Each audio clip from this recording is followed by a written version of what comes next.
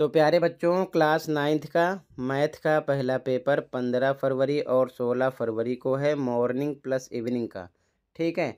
अगर आपने अभी तक किसी प्रकार से तैयारी नहीं किया है तो ये वीडियो आपके लिए मोस्ट इम्पोर्टेंट होने वाली है। इस वीडियो में मैं आपको टोटल पूरी बुक के, सभी चैप्टर के मोस्ट इम्पोर्टेंट क्वेश्चन लाइन से करवाने वाला हूँ, दोनों मीडियम में एक साथ।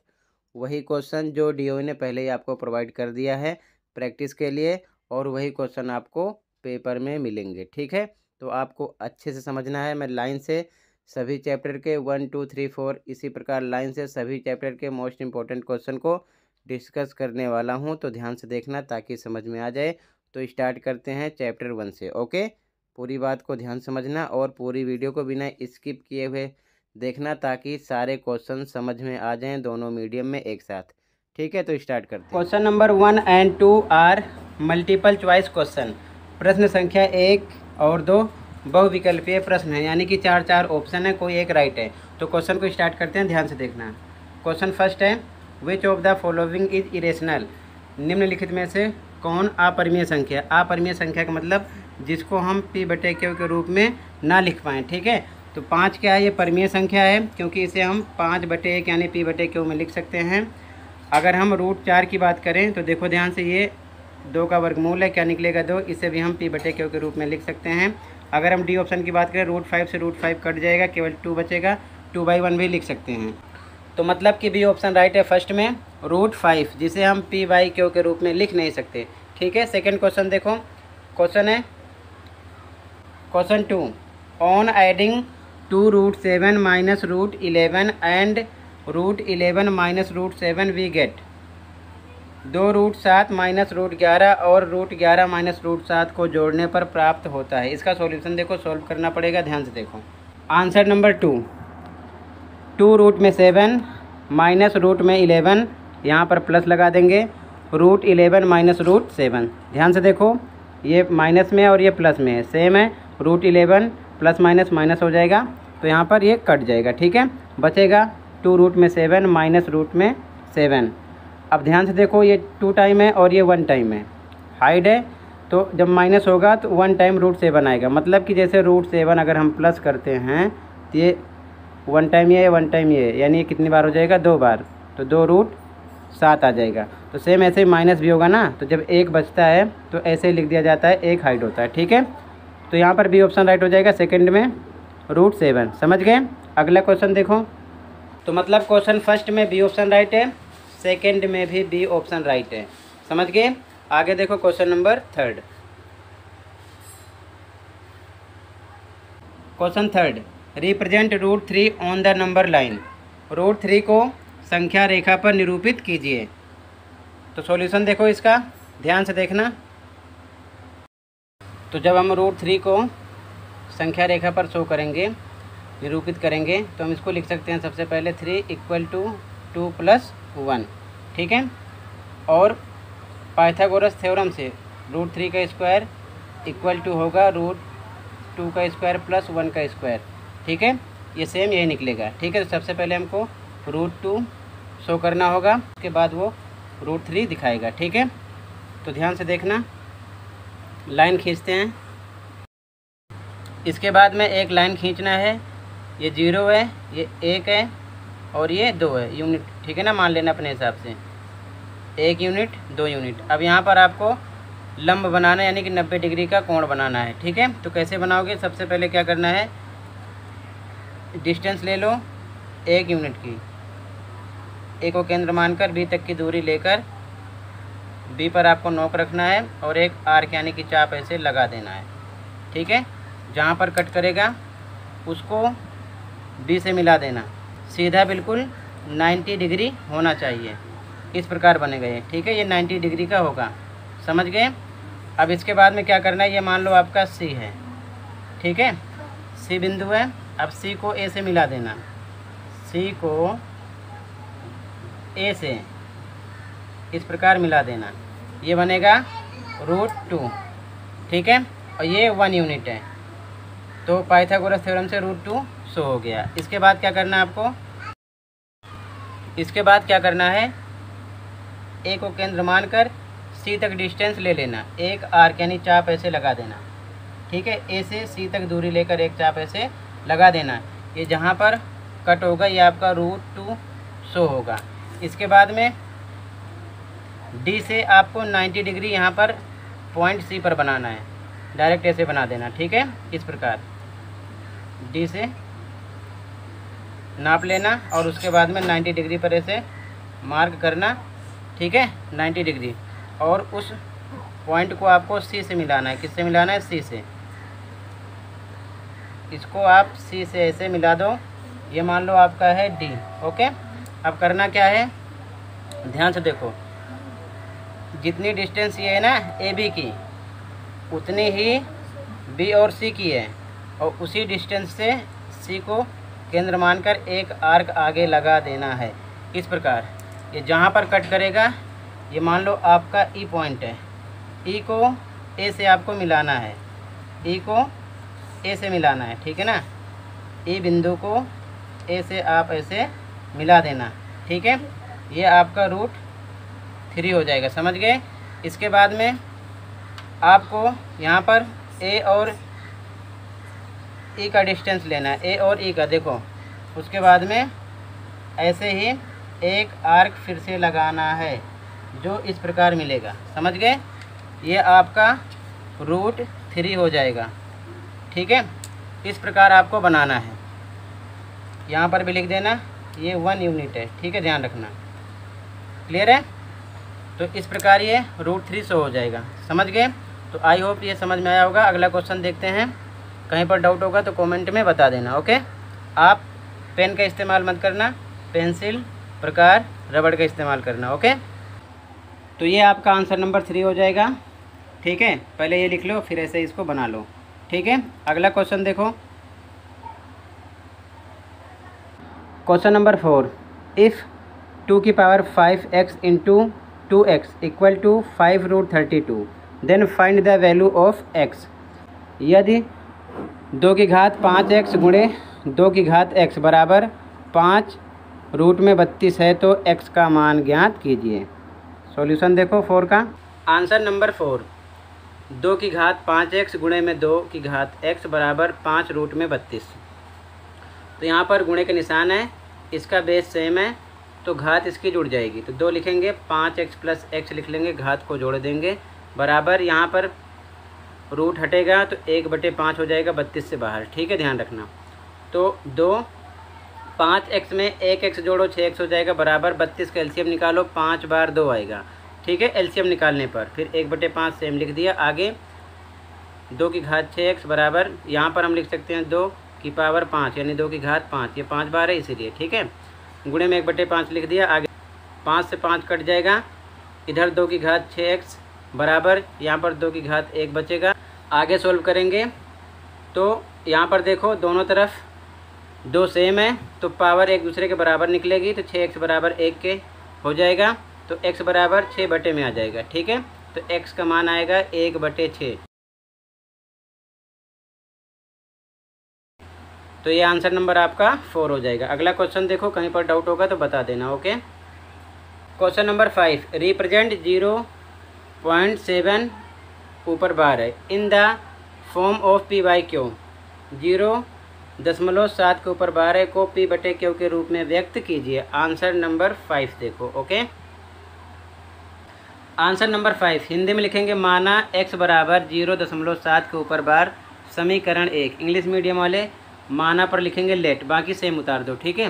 हिंदी मीडियम में लिखेंगे दोनों तरफ़ दस से गुणा करने पर। इंग्लिश मीडियम वाले लिखेंगे multiplying both sides by ten अब ध्यान से देखो टेन से मल्टीप्लाई क्यों किया? क्योंकि पॉइंट देखो वन टेन पर है। तो दोनों तरफ़ टेन से मल्टीप्लाई किया, ठीक है? अब ध्यान से देखो आगे। इधर टेन से मल्टीप्लाई होगा तो टेन एक्स हो जाएगा। इधर मल्टीप्लाई करोगे तो सेवन पॉइंट सेवन के ऊपर बार लग जाएगा। यहाँ पर ज़ीरो पॉइंट सेवन के ऊपर बार का मतलब है कि ज़ीरो पॉइंट सेवन सेवन ऐसे बढ़ता जाएगा, ठीक है? तो जब टेन से मल्टीप्लाई होगा तो ये पॉइंट यहाँ पर लग जाएगा और बार फिर से लग जाएगा तो सेवन पॉइंट सेवन के ऊपर बार लग जाएगा, ठीक है? ये इक्वेशन टू हो जाएगा, ठीक है? ध्यान रखना। हिंदी मीडियम वाले लिखेंगे, समीकरण दो से घटाने पर। ये दो है, इससे एक घटाने पर, और इंग्लिश मीडियम वाले subtracting equation one from two ठीक है? तो ध्यान से देखो इक्वेशन टू इधर क्या है? टेन एक्स, और इधर है एक्स। तो टेन एक्स माइनस एक्स किया इक्वल लगा दिया, इधर क्या है? इक्वेशन टू में सेवन पॉइंट सेवन के ऊपर बार है, और इधर ज़ीरो पॉइंट सेवन के ऊपर बार है, लिख दिया। घटा दो। टेन एक्स, ये वन एक्स है। ठीक है, ये कितना है? वन एक्स है। टेन एक्स में से वन एक्स जाएगा नाइन एक्स और इधर ये कट जाएगा, सेवन आ जाएगा। ठीक है? तो एक्स बराबर आ जाएगा सेवन, अपॉन में इधर नाइन आ जाएगा। ठीक है ना? X equal to seven by nine. ये आपका एक्स का मान हो जाएगा पी बाई क्यू के रूप में। ठीक है? आंसर फाइव हो गया। अगला क्वेश्चन देखो, जहाँ पर डाउट होगा बता देना, ओके? हिंदी मीडियम वाले अपनी लाइन लिखेंगे, इंग्लिश मीडियम वाले अपनी लाइन, ओके? क्वेश्चन सिक्स है rationalise the denominator of the following निम्न के हर का परिमेयकरण कीजिए। इंपॉर्टेंट क्वेश्चन एक क्वेश्चन ऐसा पेपर में आएगा ज़रूर। तो पहला क्वेश्चन देखो।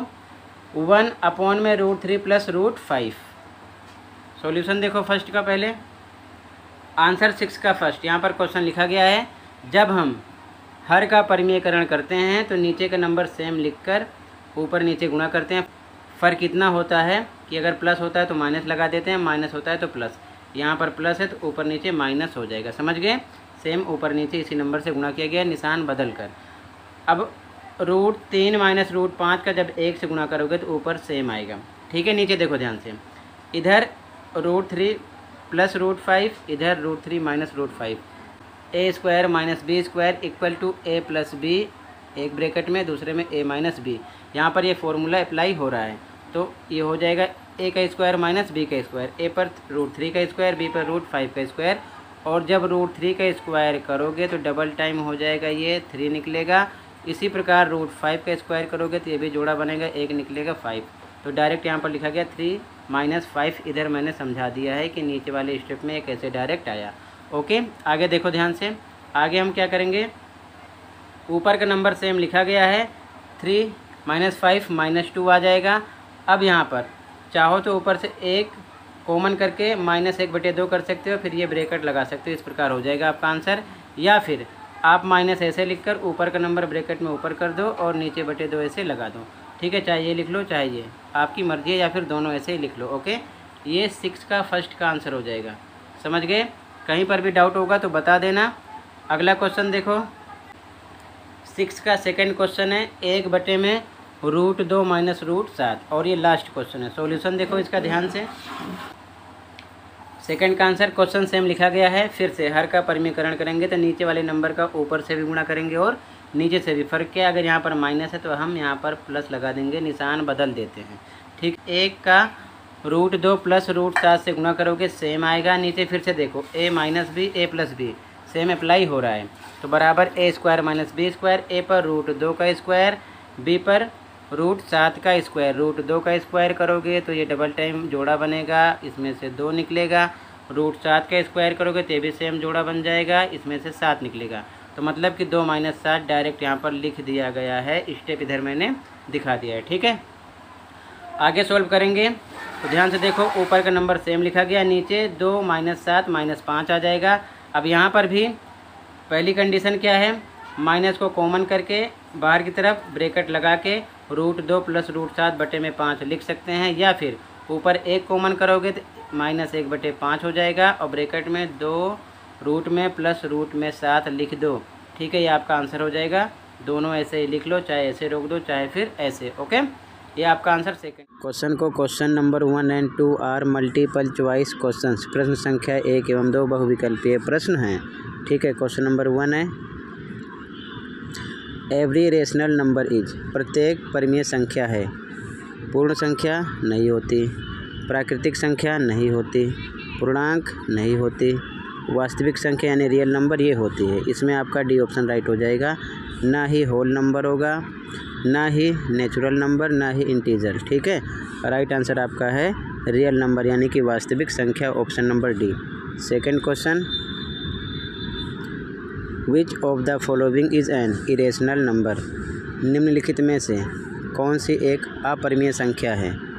अपरिमेय संख्या मतलब जिसे हम पी बाई क्यू के रूप में ना लिख सकें, ठीक है? ये चीज़ ध्यान में रखना। तो ए ऑप्शन रूट पच्चीस है। इसका मतलब पाँच गुणे पाँच होगा, जोड़े में से पाँच निकलेगा। और इसे हम पाँच बटे एक लिख सकते हैं मतलब ये है। उसके बाद में बी ऑप्शन रूट में एट अपॉन में टू है, टू से कट करो, टू वन जा टू टू फोर जा एट मतलब रूट में फोर मिला। तो यहाँ से आपको टू मिल जाएगा, ठीक है? दो का वर्गमूल है मतलब ये भी है, इसे हम दो बटे एक लिख सकते हैं। Option D, root forty nine का मतलब सेवन इंटू सेवन सेवन निकलेगा रूट में से। इसको हम सेवन बाई वन भी लिख सकते हैं, पी बाई क्यू की फॉर्म में मतलब ये भी है। सी ऑप्शन देखो, रूट एटीन का एलसीएम निकालोगे तो लिखोगे two into three into three. ठीक है? ये बनेगा पेयर बाहर निकल आएगा, अंदर टू बचेगा। तो इसे हम पी बाई क्यू के रूप में नहीं लिख सकते तो सी ऑप्शन राइट होगा। सी अपरिमीय संख्या, यानी कि इरेशनल नंबर ठीक है? आगे देखो। क्वेश्चन थर्ड सिंप्लीफाई हल कीजिए। क्वेश्चन है, ठीक है? सॉल्यूशन देखो ध्यान से। मोस्ट इंपॉर्टेंट क्वेश्चन है ओके सॉल्यूशन क्वेश्चन सेम लिखा गया। ऊपर का नंबर सेम लिखा गया, चार बटे। चौंसठ कैल्शियम निकालो, इधर मैंने निकाल दिया समझने के लिए। दो कितनी बार निकला? एक, दो, तीन, चार, पाँच, छः। तो लिख सकते हैं दो की पावर छः, चौंसठ पर। और सेम बाकी माइनस दो बटे तीन इसकी पावर इसे लगा दिया। फिर प्लस एक बटे सेम लिखा, छः सौ पच्चीस कैल्शियम निकालेंगे। पाँच आएगा चार बार तो छः सौ पच्चीस पर लिख सकते हैं पाँच की पावर चार, ब्रैकेट लगाकर power minus three upon four same लिख दिया। आगे प्लस पे प्लस लगाया, फिर से दो दो बटे दो सौ तैंतालीस को लिख सकते हो, तीन की पावर पाँच, यहाँ एलसीएम निकाल दिया, ठीक है? तीन पाँच बार आएगा एलसीएम निकालोगे तो। ठीक है? तो यहाँ पर हम लिख सकते हैं तीन की पावर पाँच, पावर माइनस एक बटे पाँच सेम लिख दिया गया। समझ गए? चौंसठ, छः सौ पच्चीस, दो सौ तैंतालीस का एलसीएम निकाल लेना। इसकी पावर को कन्वर्ट करके इस प्रकार हम लिख सकते हैं, बाकी सब कुछ सेम लिखा गया। आगे, ध्यान से देखो।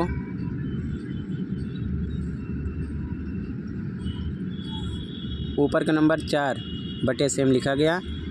ये ब्रेकेट हटेगा तो दो की पावर छः गुणे, माइनस दो बटे तीन लिख दिया जाएगा। इसी प्रकार प्लस एक लिखा गया, पाँच की पावर चार ब्रेकेट हटाओ गुणे, माइनस तीन बटे चार लिखा गया।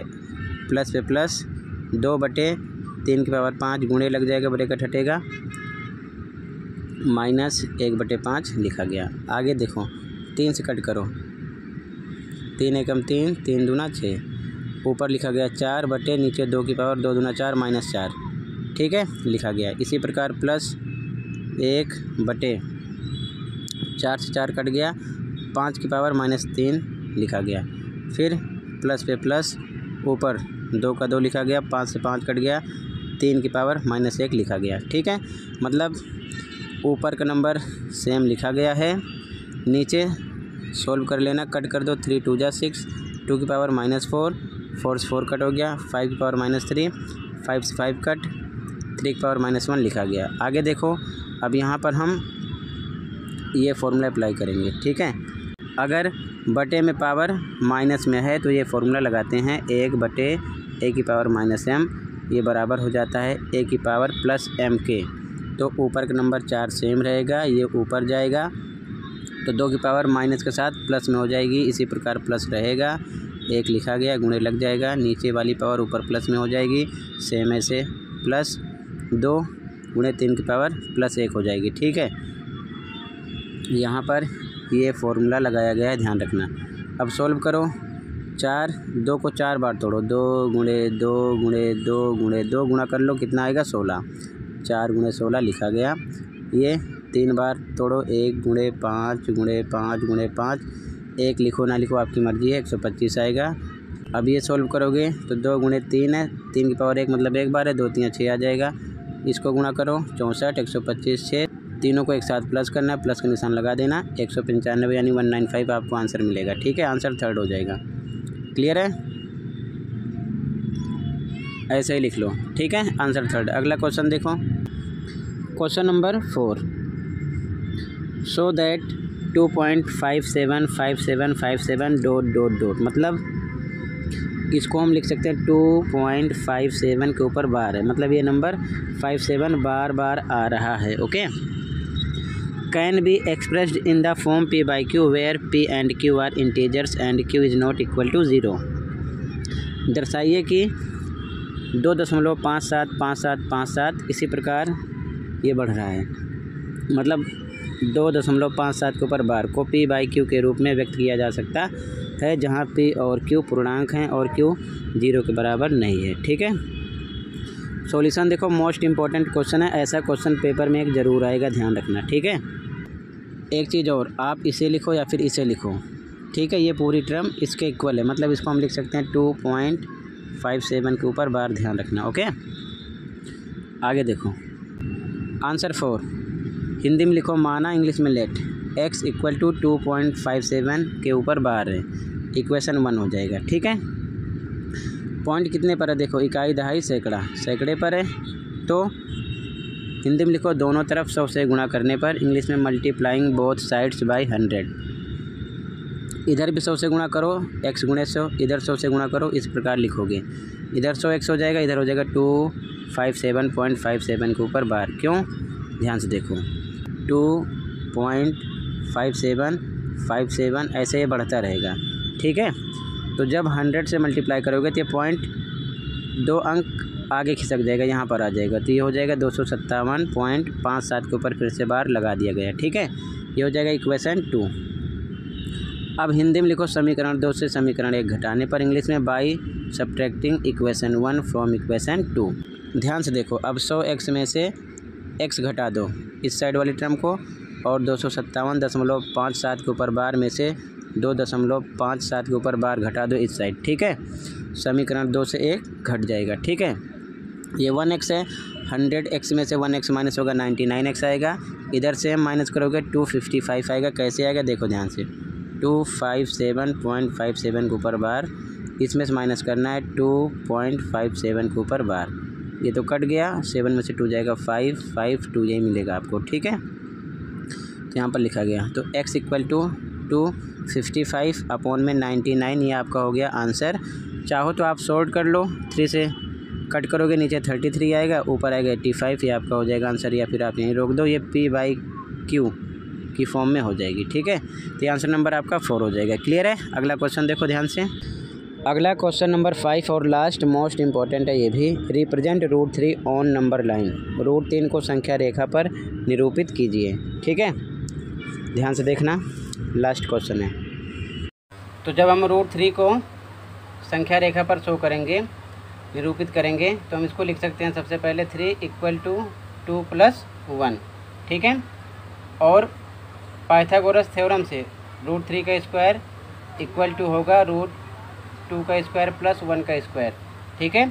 ये सेम यही निकलेगा, ठीक है? तो सबसे पहले हमको रूट टू शो करना होगा, उसके बाद वो रूट थ्री दिखाएगा, ठीक है? तो ध्यान से देखना। लाइन खींचते हैं। इसके बाद में एक लाइन खींचना है। ये ज़ीरो है, ये एक है और ये दो है यूनिट ठीक है ना? मान लेना अपने हिसाब से। एक यूनिट दो यूनिट अब यहाँ पर आपको लंब बनाना, यानी कि नब्बे डिग्री का कोण बनाना है, ठीक है? तो कैसे बनाओगे? सबसे पहले क्या करना है? डिस्टेंस ले लो एक यूनिट की। ए को केंद्र मानकर बी तक की दूरी लेकर बी पर आपको नोक रखना है और एक आर्क यानी कि चाप ऐसे लगा देना है, ठीक है? जहाँ पर कट करेगा, उसको बी से मिला देना। सीधा बिल्कुल 90 डिग्री होना चाहिए। इस प्रकार बनेगा ये, ठीक है? ये 90 डिग्री का होगा। समझ गए? अब इसके बाद में क्या करना है, ये मान लो आपका सी है। ठीक है? सी बिंदु है। अब सी को ए से मिला देना। सी को ए से इस प्रकार मिला देना। ये बनेगा रूट टू। ठीक है? और ये वन यूनिट है। तो पाइथागोरस थ्योरम से रूट टू सो हो गया। इसके बाद क्या करना है आपको? इसके बाद क्या करना है? ए को केंद्र मानकर सी तक डिस्टेंस ले लेना, एक आर्क यानी चाप ऐसे लगा देना, ठीक है? ए से सी तक दूरी लेकर एक चाप ऐसे लगा देना, ये जहाँ पर कट होगा, ये आपका रूट टू शो होगा। इसके बाद में डी से आपको 90 डिग्री यहाँ पर पॉइंट सी पर बनाना है, डायरेक्ट ऐसे बना देना, ठीक है? इस प्रकार। डी से नाप लेना और उसके बाद में 90 डिग्री पर ऐसे मार्क करना, ठीक है? Ninety degree. और उस पॉइंट को आपको सी से मिलाना है। किससे मिलाना है? सी से। इसको आप सी से ऐसे मिला दो। ये मान लो आपका है डी ओके अब करना क्या है? ध्यान से देखो। जितनी डिस्टेंस ये है ना ए बी की, उतनी ही बी और सी की है। और उसी डिस्टेंस से सी को केंद्र मानकर एक आर्क आगे लगा देना है। इस प्रकार। ये जहाँ पर कट करेगा ये मान लो आपका ई e पॉइंट है। ई e को ए से आपको मिलाना है। ई e को ए से मिलाना है, ठीक है ना? ई बिंदु को ए से आप ऐसे मिला देना, ठीक है? ये आपका रूट थ्री हो जाएगा, समझ गए? इसके बाद में आपको यहाँ पर ए और ई का डिस्टेंस लेना है। ए और ई का, देखो। उसके बाद में ऐसे ही एक आर्क फिर से लगाना है। जो इस प्रकार मिलेगा। समझ गए? ये आपका रूट थ्री हो जाएगा। ठीक है? इस प्रकार आपको बनाना है। यहाँ पर भी लिख देना ये वन यूनिट है। ठीक है? ध्यान रखना। क्लियर है? तो ऐसे ही बना लो बच्चों तो इस प्रकार ये आंसर थ्री सौ हो जाएगा। नंबर फाइव समझ गए? तो आई होप ये समझ में आया होगा। अगला क्वेश्चन देखते हैं। कहीं पर डाउट होगा तो कमेंट में बता देना ओके आप पेन का इस्तेमाल मत करना। पेंसिल प्रकार रबड़ का इस्तेमाल करना okay question number one and two are multiple choice question प्रश्न संख्या एक एवं दो बहुविकल्पीय प्रश्न है। तो क्वेश्चन नंबर वन देखो। फ़र्स्ट क्वेश्चन है which of the following is the zero of the polynomial p x equal to two x plus five निम्नलिखित में से कौन सा बहुपद पी एक्स बराबर दो एक्स प्लस पाँच का शून्यक है? तो ध्यान से देखो, हम दो एक्स प्लस पाँच है ना? तो इसको हम बराबर ज़ीरो के रखेंगे। ठीक है? तो दो एक्स बराबर प्लस पाँच इधर आएगा, माइनस हो जाएगा। ठीक है? तो एक्स बराबर माइनस फाइव अपॉन में टू, ये आपका आंसर होगा। तो माइनस फाइव अपॉन में टू कहाँ पर है? डी ऑप्शन है। फ़र्स्ट में डी राइट है। ओके, अगला। Second question which one of the following is not a polynomial निम्नलिखित में से कौन सा एक बहुपद नहीं है? तो बहुपद ये भी है, ये भी है, ये भी है, क्योंकि इनकी घात क्या है? पूर्ण संख्या है। तो बी ऑप्शन आपका राइट हो जाएगा, ये नहीं है। ठीक है? क्योंकि जो बटे में वाई है, अगर ये ऊपर जाएगा तो इसकी पावर माइनस वन हो जाएगी, जो कि पॉसिबल नहीं होगा। तो यहाँ पर आपका बी ऑप्शन राइट है सेकंड में। ओके अगला क्वेश्चन नंबर थर्ड है। What is the coefficient of x in three x plus five x square तीन एक्स प्लस पाँच एक्स स्क्वायर में एक्स का गुणांक क्या है? तो एक्स के साथ आपका क्या है? ध्यान से देखो, नंबर केवल देखते हैं, तीन है। ठीक है? तो ये आपका आंसर हो जाएगा थ्री। ठीक है? केवल एक्स पर फोकस करना है। अगर यहाँ पर आपसे पूछता एक्स स्क्वायर का गुणांक तो एक्स स्क्वायर में आपको फाइव एक्स स्क्वायर मिल रहा है। तो यहाँ पर आंसर आप लिखते कितना? फाइव। लेकिन यहाँ पर पूछा है एक्स तो एक्स के साथ थ्री है। ये आपका आंसर हो जाएगा। ठीक है? लिख लेना। अगला। Question four what is the degree of the polynomial y square minus seven y plus four y cube बहुपत Y square minus सात वाई प्लस चार वाई क्यूब की घात क्या है? तो सबसे बड़ी पावर देखो, इसमें वाई की पावर टू है, ठीक है? ध्यान से देखो, इसमें वाई की पावर टू है, इसमें वन है, इसमें थ्री है तो थ्री हो जाएगा, सबसे बड़ी पावर देखते हैं, ठीक है? इसका आंसर होगा थ्री तो थर्ड क्वेश्चन में भी आपको आंसर लिखना है थ्री और फोर में भी थ्री ठीक है? आगे question five evaluate nine hundred ninety eight square using suitable identity उचित सर्वसमिका का उपयोग करके नौ सौ अट्ठानबे का वर्ग ज्ञात कीजिए। सॉल्यूशन देखो ध्यान से। आंसर फाइव नौ सौ अट्ठानबे की स्क्वायर इसको हम लिख सकते हैं एक हज़ार माइनस दो का होल स्क्वायर एक हज़ार में से दो माइनस करोगे सेम आएगा, ठीक है? इसलिए तो यहाँ पर हम लगेंगे ए माइनस बी का whole square equal to a square plus b square minus two a b formula लगाएँगे। ए पर एक हज़ार है बी पर दो है। वैल्यू रखेंगे। ए का स्क्वायर एक हज़ार के स्क्वायर प्लस बी का स्क्वायर दो का स्क्वायर फिर दो पे दो ए पर एक हज़ार बी पर दो। वैल्यू रखो सॉल्व करो। इसको डबल टाइम मल्टीप्लाई करना है। एक हज़ार गुणे एक हज़ार पावर है तो आएगा दस लाख। दो का स्क्वायर करोगे, दो गुणे दो, कितना आएगा चार?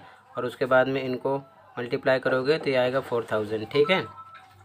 इन दोनों को प्लस करोगे, इतना आ जाएगा माइनस चार हज़ार माइनस करोगे तो आएगा nine lakh ninety six thousand four ये आपका आंसर हो जाएगा। और इस नंबर को आप डबल टाइम नौ सौ अट्ठानबे गुड़े नौ सौ अट्ठानबे करोगे, तब भी आपको यही आंसर मिलेगा, ठीक है? अगला क्वेश्चन देखो। Question number six question number six है।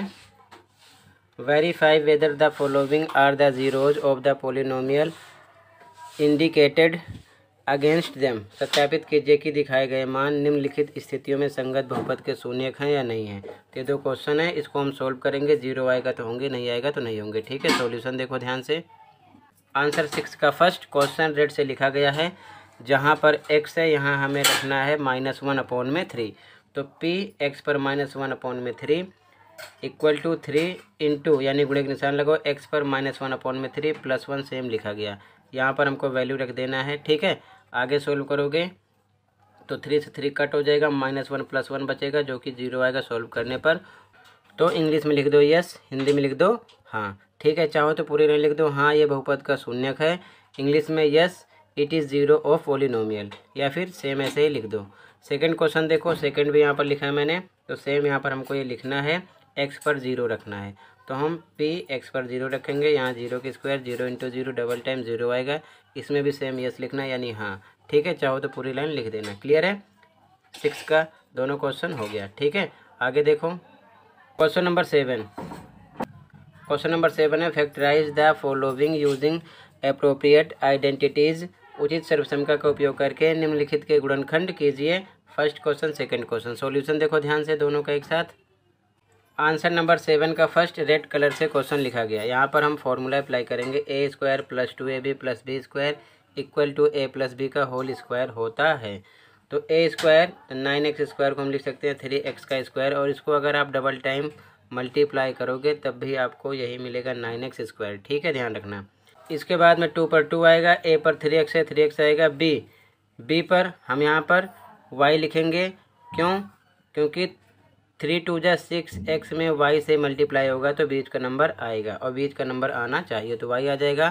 प्लस बी स्क्वायर तो बी पर हमारा क्या मिल गया? वाई वाई का स्क्वायर हो जाएगा, जो कि होता है ए प्लस बी का होल स्क्वायर, ए पर थ्री एक्स है, बी पर वाई है, थ्री एक्स प्लस वाई का होल स्क्वायर हो जाएगा। ये आपका आंसर हो जाएगा। सेकंड क्वेश्चन देखो इसका। क्वेश्चन लिखा गया, यहाँ पर हम फॉर्मूला अप्लाई करेंगे, A square minus two A B plus B square equal to A minus B का होल स्क्वायर। ए पर फोर वाई स्क्वायर है तो इसको हम लिख सकते हैं टू वाई का होल स्क्वायर, और इसको डबल टाइम आप मल्टीप्लाई करोगे तो आपको सेम मिलेगा फोर वाई स्क्वायर, ठीक है? इसके बाद में माइनस पे माइनस, टू पे टू आएगा, ए पर टू वाई आ गया। अब हम टू टू ज़ा फोर वाई, ये हो चुका है मल्टीप्लाई करने पर, कितने से मल्टीप्लाई करेंगे फोर वाई आए? तो वन से मल्टीप्लाई करेंगे तो वन लिखेंगे बी पर तो बी वन हो जाएगा, फिर आगे बी का स्क्वायर तो वन का स्क्वायर ये हो जाएगा, जो कि होता है ए माइनस बी का होल स्क्वायर ए पर टू वाई है, बी पर वन है तो टू वाई माइनस वन का होल स्क्वायर हो जाएगा सेकेंड का आंसर, ठीक है? तो ये सेवन का फ़र्स्ट है और ये सेवन का सेकेंड अगला क्वेश्चन देखो। क्वेश्चन नंबर एट और लास्ट, फैक्टराइज गुणनखंड कीजिए। एक्स स्क्वायर अपॉन में forty nine minus Y square upon में हंड्रेड, ठीक है? लास्ट क्वेश्चन है। ध्यान से देखो सॉल्यूशन इसका। आंसर नंबर एट, क्वेश्चन यहाँ पर लिखा गया इसे हम लिख सकते हैं एक्स स्क्वायर फोर्टी नाइन को लिख सकते हैं सेवन इंटू सेवन यानी सेवन सेवन जब फोर्टी नाइन तो सेवन के स्क्वायर लिख सकते हैं, यानी सेवन डबल टाइम है, ठीक है?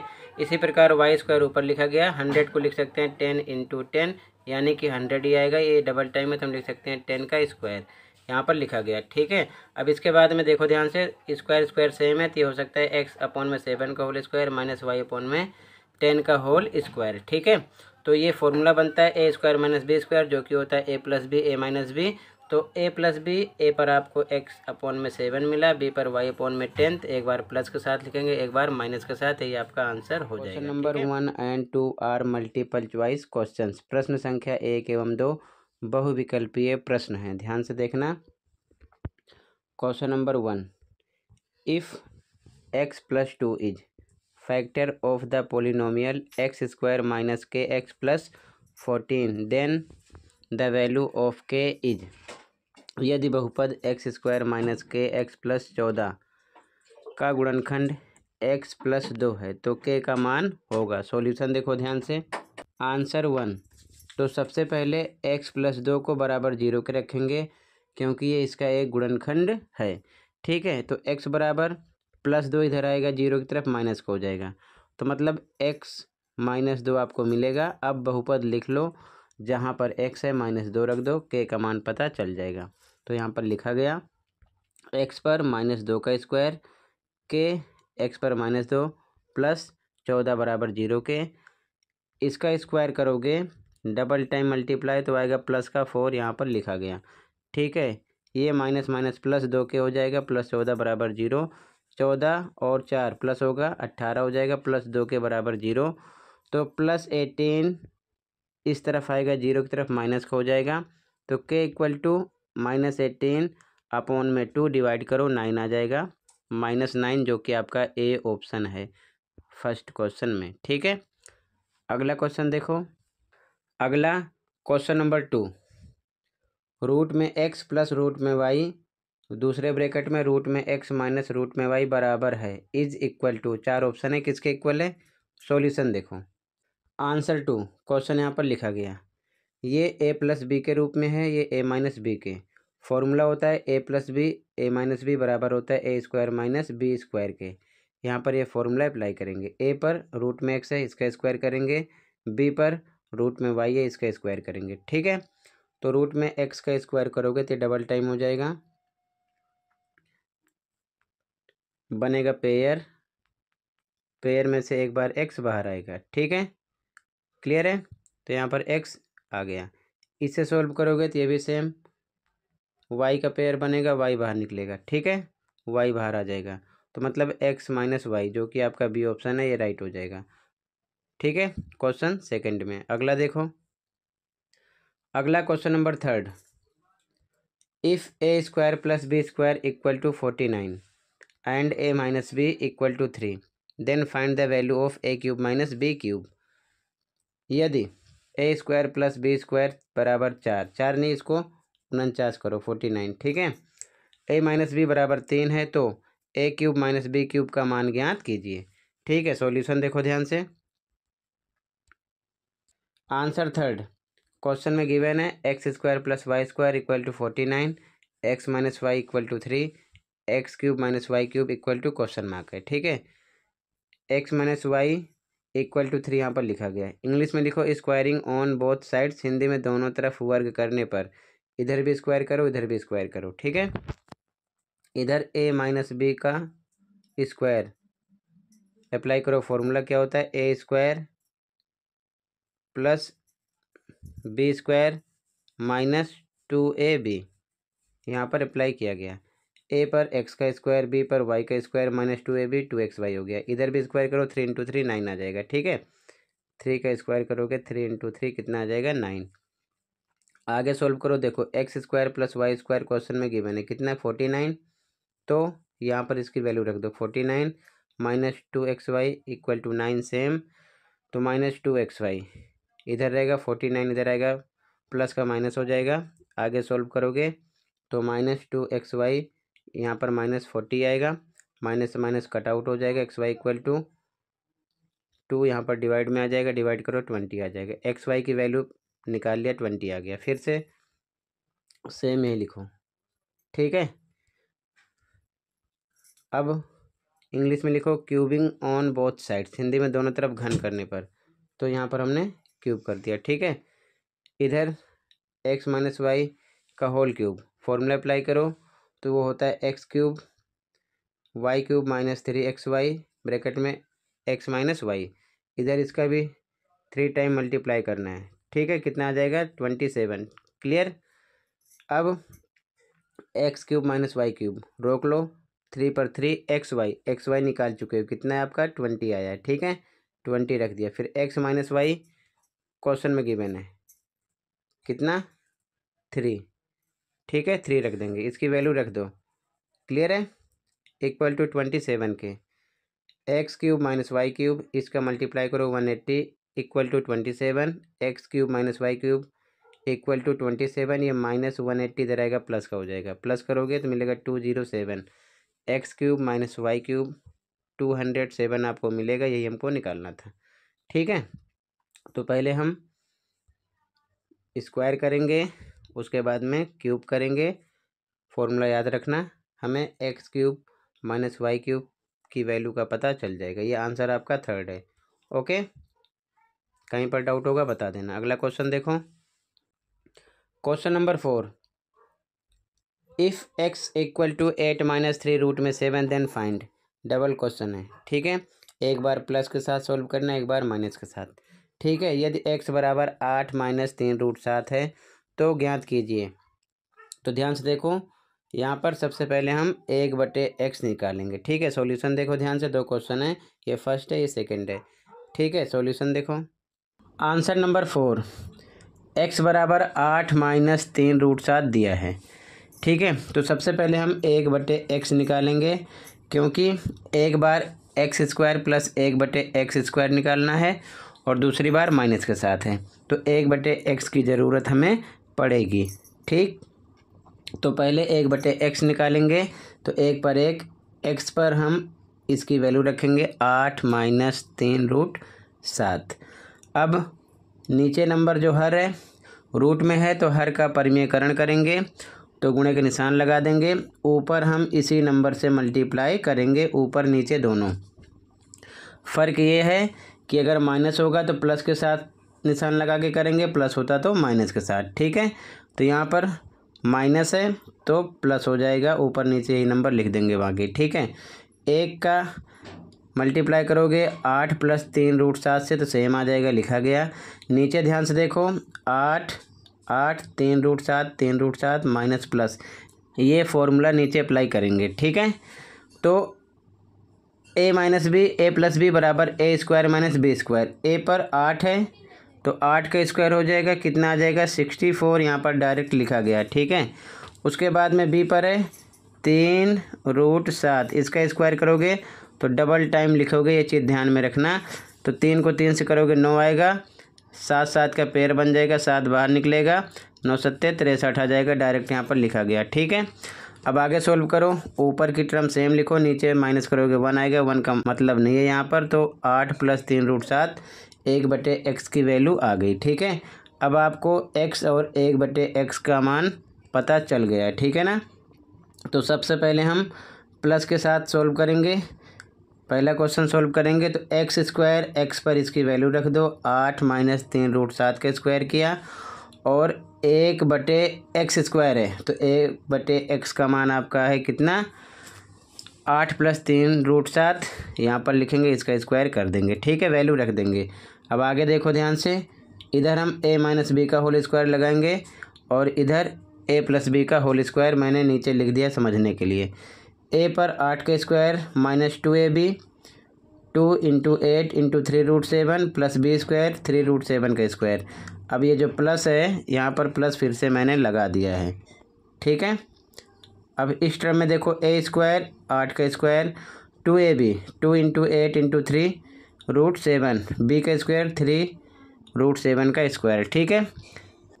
प्लस का फॉर्मूला इधर अप्लाई होगा माइनस वाला इधर अप्लाई होगा, ध्यान रखना, ठीक है? आगे सॉल्व करो। आठ के स्क्वायर चौंसठ आएगा। इसको सोल्व करो, दो अट्ठे सोलह, तीन अड़तालीस, रूट सात। इसे सॉल्व करोगे डबल टाइम तो three root seven into three root seven three three ज़ा नाइन पेयर में से सेवन निकलेगा। कितना आएगा? सिक्सटी थ्री तो यहाँ पर सिक्सटी थ्री लिख दिया गया। ये सॉल्व हो गया, इतना आ गया। अब प्लस पे प्लस लगा दो। इधर भी सेम आठ के स्क्वायर चौंसठ। इसको सॉल्व करोगे फोर्टी एट रूट सेवन इसको सॉल्व करोगे तो सिक्सटी थ्री सेम आएगा यही ठीक है? अब ध्यान से देखो, ये प्लस का है फोर्टी एट रूट सेवन इधर माइनस का है, कट जाएगा। चौंसठ, तिरसठ चौंसठ, तिरसठ। चारों को आपस में तुम्हें प्लस करना है, जब करोगे तो आएगा टू फिफ्टी फोर ठीक है? फ़र्स्ट का आंसर हो जाएगा। अब फिर से अगला देखो, इसमें सेकंड था। चौथे का सेकंड भी सेम है। फिर से वैल्यू आपको पता है।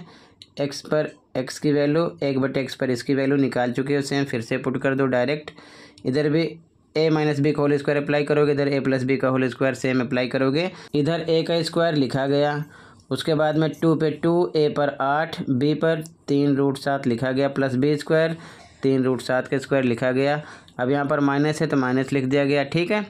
अब इधर प्लस वाला फॉर्मूला अप्लाई करो इस साइड तो प्लस वाला फॉर्मूला अप्लाई करोगे तो ए का स्क्वायर, आठ का स्क्वायर, दो ए बी दो पे दो ए पर आठ बी पर तीन रूट सात लिखा गया गुणे के निशान लगाकर, प्लस बी का स्क्वायर, तीन रूट सात का स्क्वायर। इसे सॉल्व करोगे चौंसठ, इसे सॉल्व करोगे फोर्टी एट रूट सेवन इसे सोल्व करोगे सिक्सटी थ्री माइनस लगेगा अब ब्रेकेट से बाहर माइनस है तो अंदर के निशान बदल जाएँगे, ध्यान रखना, चौंसठ आ गया। यहाँ पर भी माइनस हो जाएगा। इसको सोल्व करोगे फोर्टी एट रूट सेवन यहाँ भी माइनस आ जाएगा। इसको सोल्व करोगे सिक्सटी थ्री अब कैसे आ रहा है आपको पता होना चाहिए, मैंने ऊपर बता दिया है। इसको डबल टाइम जब आप स्क्वायर करोगे थ्री थ्री ज़ा नाइन आ जाएगा। सेवन का पेयर बनेगा सेवन बाहर निकलेगा, आ जाएगा सिक्सटी थ्री ठीक है? अब सोल्व करो फिर से, चौंसठ प्लस का है, चौंसठ माइनस का है, कट गया। तिरसठ प्लस का है, तिरसठ माइनस का है, कट गया। Forty eight root seven, forty eight root seven minus में है। तो minus minus plus forty eight plus forty eight करोगे तो नाइन्टी सिक्स मिलेगा, रूट सेवन से में से लगा दोगे, ठीक है? तो ये आपका आंसर हो जाएगा फोर्थ का बी। क्लियर है? तो सबसे पहले आपको ध्यान रखना, आपको ये वैल्यू निकाल लेना है एक बटे एक्स की, क्योंकि एक्स दिया है। उसके बाद में आप फ़र्स्ट और सेकंड क्वेश्चन पर डायरेक्ट वैल्यू पुट करके सॉल्यूशन निकाल सकते हो। अगला क्वेश्चन देखो। अगला question number five. If X plus Y plus Z equal to zero then find the value of Y plus Z का होल स्क्वायर बटे में Y Z plus X plus Z का होल स्क्वायर बटे में X Z plus X plus Y का whole square बटे में x Y ठीक है? क्वेश्चन मोस्ट इंपॉर्टेंट है, ध्यान देना। आंसर देखो। लास्ट क्वेश्चन है। आंसर नंबर फाइव ध्यान से देखना। ये क्वेश्चन में गिवन है। X plus Y plus Z बराबर ज़ीरो, ठीक है? अब ध्यान से देखो। अगर हम एक्स प्लस वाई इधर रोकेंगे, जेड को ज़ीरो की तरफ़ भेजेंगे तो ये माइनस जेड हो जाएगा, ठीक है? ये पहली कंडीशन है, ध्यान रखना। फिर से, वाई प्लस जेड इधर रोक लो। एक्स को ज़ीरो की तरफ़ भेजो, इधर आएगा, ये माइनस हो जाएगा। तो वाई प्लस जेड बराबर माइनस एक्स के होगा, ठीक है? अगली कंडीशन में अगर हम एक्स और जेड इधर रोक लें वाई को ज़ीरो की तरफ़ भेजेंगे तो ये माइनस का हो जाएगा। अब इन तीनों की वैल्यू हम रखेंगे, ये चीज़ ध्यान में रखना, थोड़ा क्वेश्चन को ईजी करने के लिए ऐसा किया गया है। ठीक है, ध्यान से देखो, ये क्वेश्चन था क्वेश्चन लिख लिया गया। ठीक है वाई प्लस जेड अब ध्यान से देखो वाई प्लस जेड किसके इक्वल हो रहा है? माइनस एक्स के स्क्वायर है तो हम लिख सकते हैं माइनस एक्स का स्क्वायर नीचे वाई जेड सेम ऐसे लिख दिया। फिर से प्लस लगा दिया, इधर एक्स प्लस जेड है तो X plus Z minus Y के इक्वल है तो माइनस वाई का स्क्वायर करेंगे, नीचे का नंबर एक्स जेड सेम लिख दिया गया फिर से प्लस है तो प्लस लगा दिया गया एक्स प्लस वाई का होल स्क्वायर तो एक्स प्लस वाई बराबर है माइनस जेड के तो इधर माइनस जेड का होल स्क्वायर करेंगे, नीचे एक्स वाई सेम लिख दिया। समझ गए? आगे बढ़ते हैं। ध्यान से देखो, इसका स्क्वायर करोगे ऊपर तो minus X into minus X ये प्लस का हो जाएगा, एक्स स्क्वायर। यहाँ पर लिखा गया, नीचे का नंबर सेम है। सेम इसी प्रकार ये भी वाई स्क्वायर प्लस का बटे में एक्स जेड। सेम ये भी जेड स्क्वायर हो जाएगा, एक्स वाई, सेम नीचे का वही रहेगा। ठीक है, आगे बढ़ो। अब हर का एलसीएम निकालो। Y Z, X Z, X Y. जब हर का एलसीएम निकालोगे तो नीचे आपको मिलेगा X Y Z common number. ठीक है ना? एक्स वाई जेड मिलेगा। क्लियर है? अब ध्यान से देखो। एलसीएम निकालने के बाद। अब ध्यान से देखो, इसमें से जब एलसीएम में डिवाइड करोगे वाई जेड से तो वाई जेड कट जाएगा, केवल एक्स बचेगा। तो जो एक्स बचेगा, इसका ऊपर मल्टीप्लाई होना है।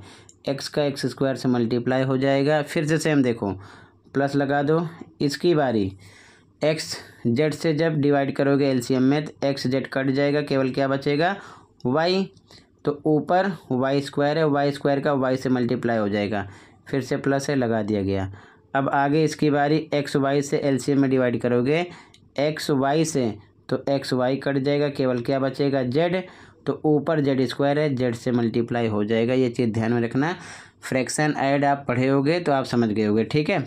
अब ऊपर मल्टीप्लाई करोगे, ये एक्स की पावर वन है, ध्यान रखना। तो एक्स क्यूब हो जाएगा प्लस इधर भी वाई क्यूब हो जाएगा प्लस जेड क्यूब हो जाएगा, और बटे में एक्स वाई जेड सेम लिखा जाएगा। अब आपको एक चीज़ और समझना है, ये फॉर्मूला होता है, इसे आप याद कर लेना।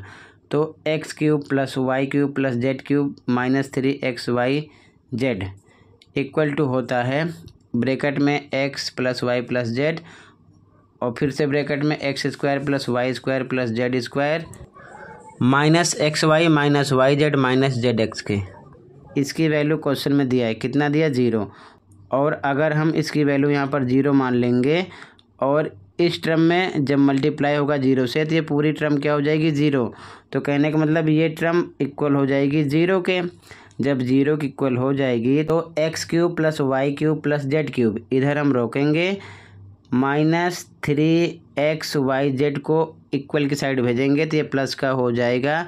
तो कहने का मतलब यही हमको यहाँ पर अप्लाई करना है कि X cube plus Y cube plus Z cube बराबर होता है थ्री एक्स वाई जेड के। ठीक है? तो यहाँ पर एक कंडीशन हम लगाएँगे। X cube Y cube plus Z cube equal to three X Y Z के। तो यहाँ पर हम थ्री एक्स वाई जेड ऊपर रख सकते हैं। और क्यों रखा गया? मैंने आपको बताया। ठीक है ना? ये इसके इक्वल होता है। तो एक्स वाई जेड से एक्स वाई जेड कट हो जाएगा। केवल आपको मिलेगा थ्री यही आपका आंसर हो जाएगा। ठीक है? ये आपका आंसर नंबर कौन सा हो जाएगा? Five question number one and two are multiple choice question यानी कि प्रश्न संख्या एक और दो। बहुविकल्पीय प्रश्न है। चार चार ऑप्शन है, कोई एक राइट है। तो ध्यान से देखो, ठीक है, इसका सॉल्यूशन क्वेश्चन वन है in which quadrant does the point A minus three seven lie बिंदु ए माइनस तीन, सात किस चतुर्थांश में स्थित है? तो ध्यान से देखो, ये चार चतुर्थांश होते हैं। ये पहला होता है, जिसमें दोनों प्लस प्लस होता है। क्या होता है? दोनों प्लस प्लस, ये दूसरा होता है, इसमें माइनस प्लस होता है। क्या होता है? Minus plus. ये तीसरा होता है बच्चों, इसमें दोनों माइनस माइनस होता है, और ये चौथा होता है, इसमें दोनों प्लस माइनस होता है। ठीक है? तो इम्पोर्टेंट क्या है? यहाँ पर नंबर को देखो। थ्री के साथ माइनस है यहाँ पर, और सेवन प्लस का है। मतलब थ्री माइनस में है, सेवन प्लस में है। ठीक है? ध्यान से देखो, माइनस प्लस। अब ये पहचानो किसमें है? माइनस प्लस आपका किस चतुर्थांश में है? तो ये सेकंड में आ रहा है, ठीक है? तो फ़र्स्ट में आपका बी ऑप्शन राइट हो जाएगा, ओके? सेकंड में, समझ गए? आगे देखो। फ़र्स्ट में B. Second question. The abscissa of the point minus four, comma minus three is. बिंदु माइनस चार, माइनस तीन में भुज है। तो ध्यान से देखो, इसमें स्टार्टिंग का जो नंबर है आपका माइनस फोर एक्स है माइनस थ्री वाई है। और यहाँ पर कह रहा है कि भुज यानी कि एप्सिसा तो एक्स की वैल्यू भुज होती है वाई की वैल्यू फोर्टी तो एक्स की वैल्यू हो जाएगी आपकी भुज यानी कि एफसीसा तो माइनस फोर आपका आंसर हो जाएगा। इसमें भी आपका बी ऑप्शन राइट होगा। ठीक है? तो फ़र्स्ट में भी सेकंड में भी बी आगे देखो।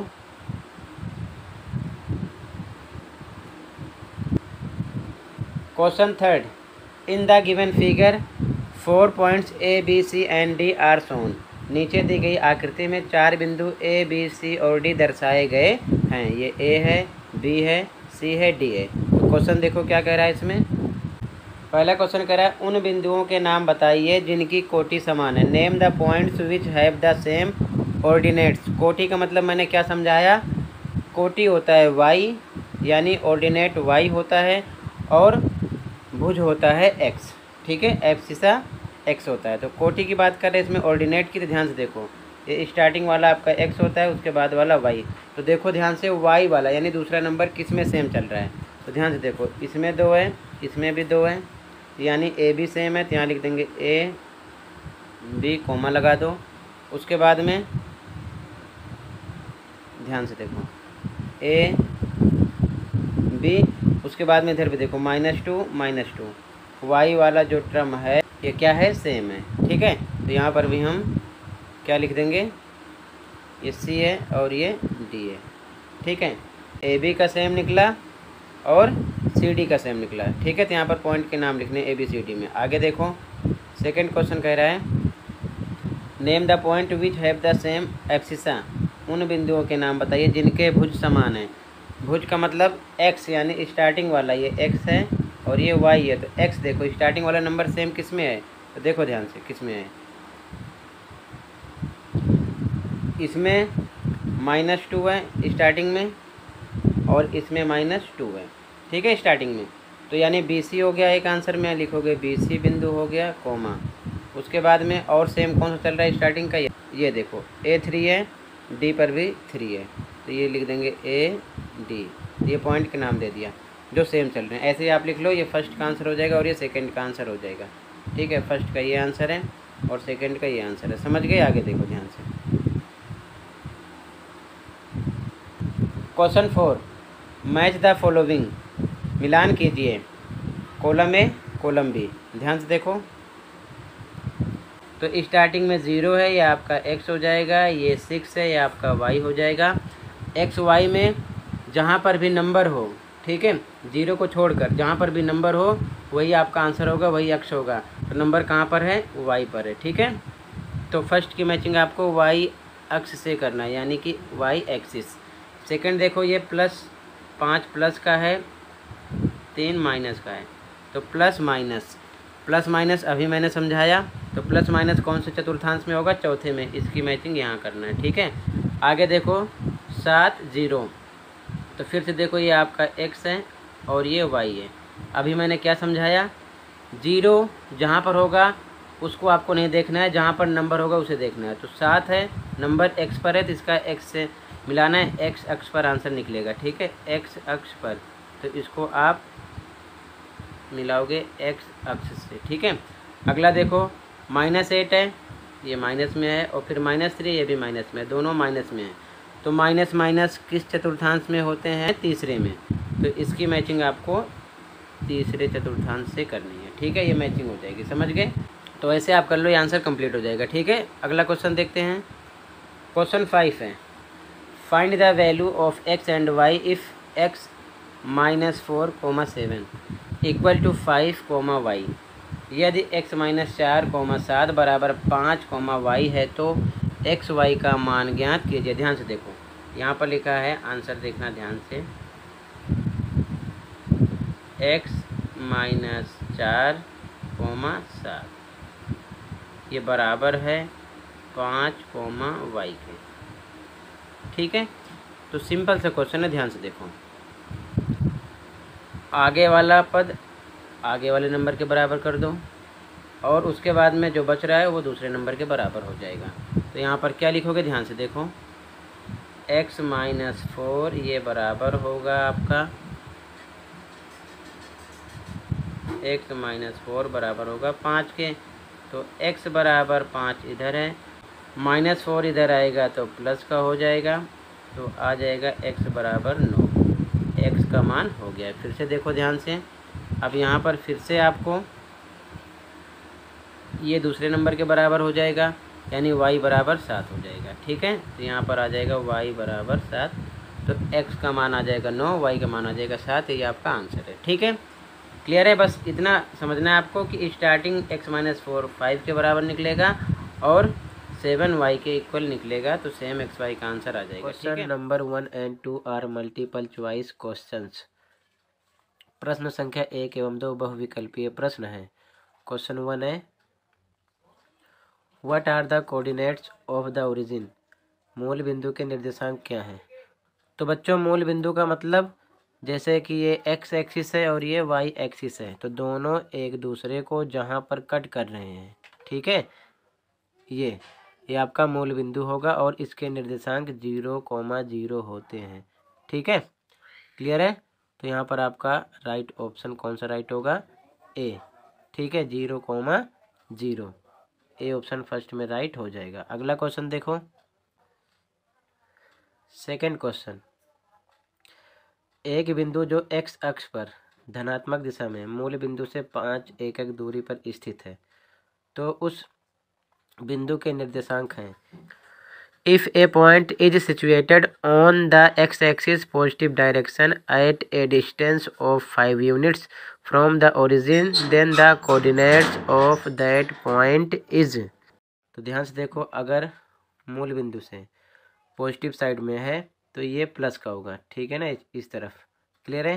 तो एक्स पर फाइव बोल रहा है। One two three four five तो एक्स फाइव वाई पर ज़ीरो रहेगा। ठीक है, ये आपका आंसर होगा। ये एक्स एक्सिस होता है, ठीक है?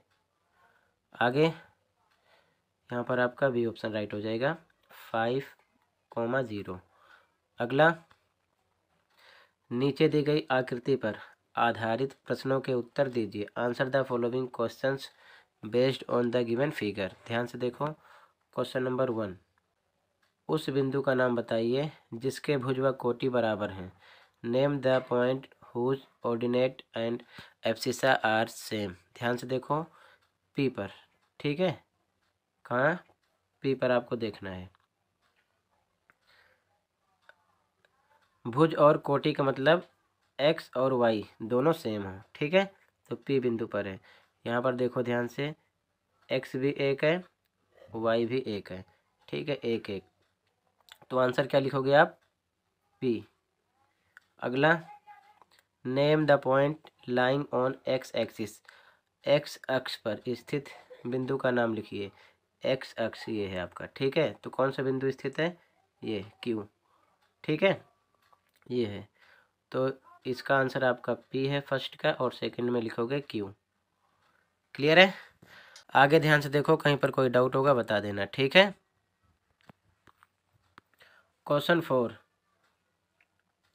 write the mirror image of the given point two comma three and minus four comma minus six with respect to the X axis X अक्ष के संबंध में दिए गए बिंदु दो कोमा तीन और माइनस चार कोमा माइनस छः का दर्पण प्रतिबिंब लिखें। ध्यान से देखो।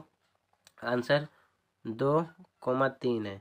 तो अगर एक्स अक्ष के संबंध में बात हो रही है तो वाई वाला नंबर माइनस का हो जाता है। ध्यान रखना, बदल जाता है। बस ये आपको ध्यान रखना है। तो इसका आंसर हो जाएगा ये आपका एक्स है और ये क्या है? वाई है।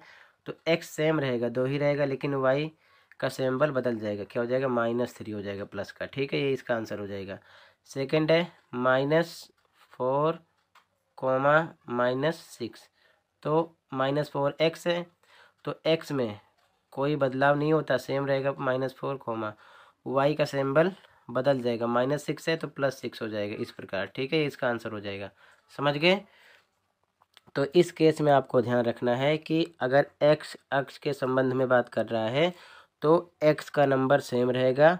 वाई में वाई पर जो नंबर होगा, उनके निशान बदल जाएँगे। ये चीज़ ध्यान में रखना तो इसका आंसर हो जाएगा, ठीक है? आगे देखो। मिलान कीजिए।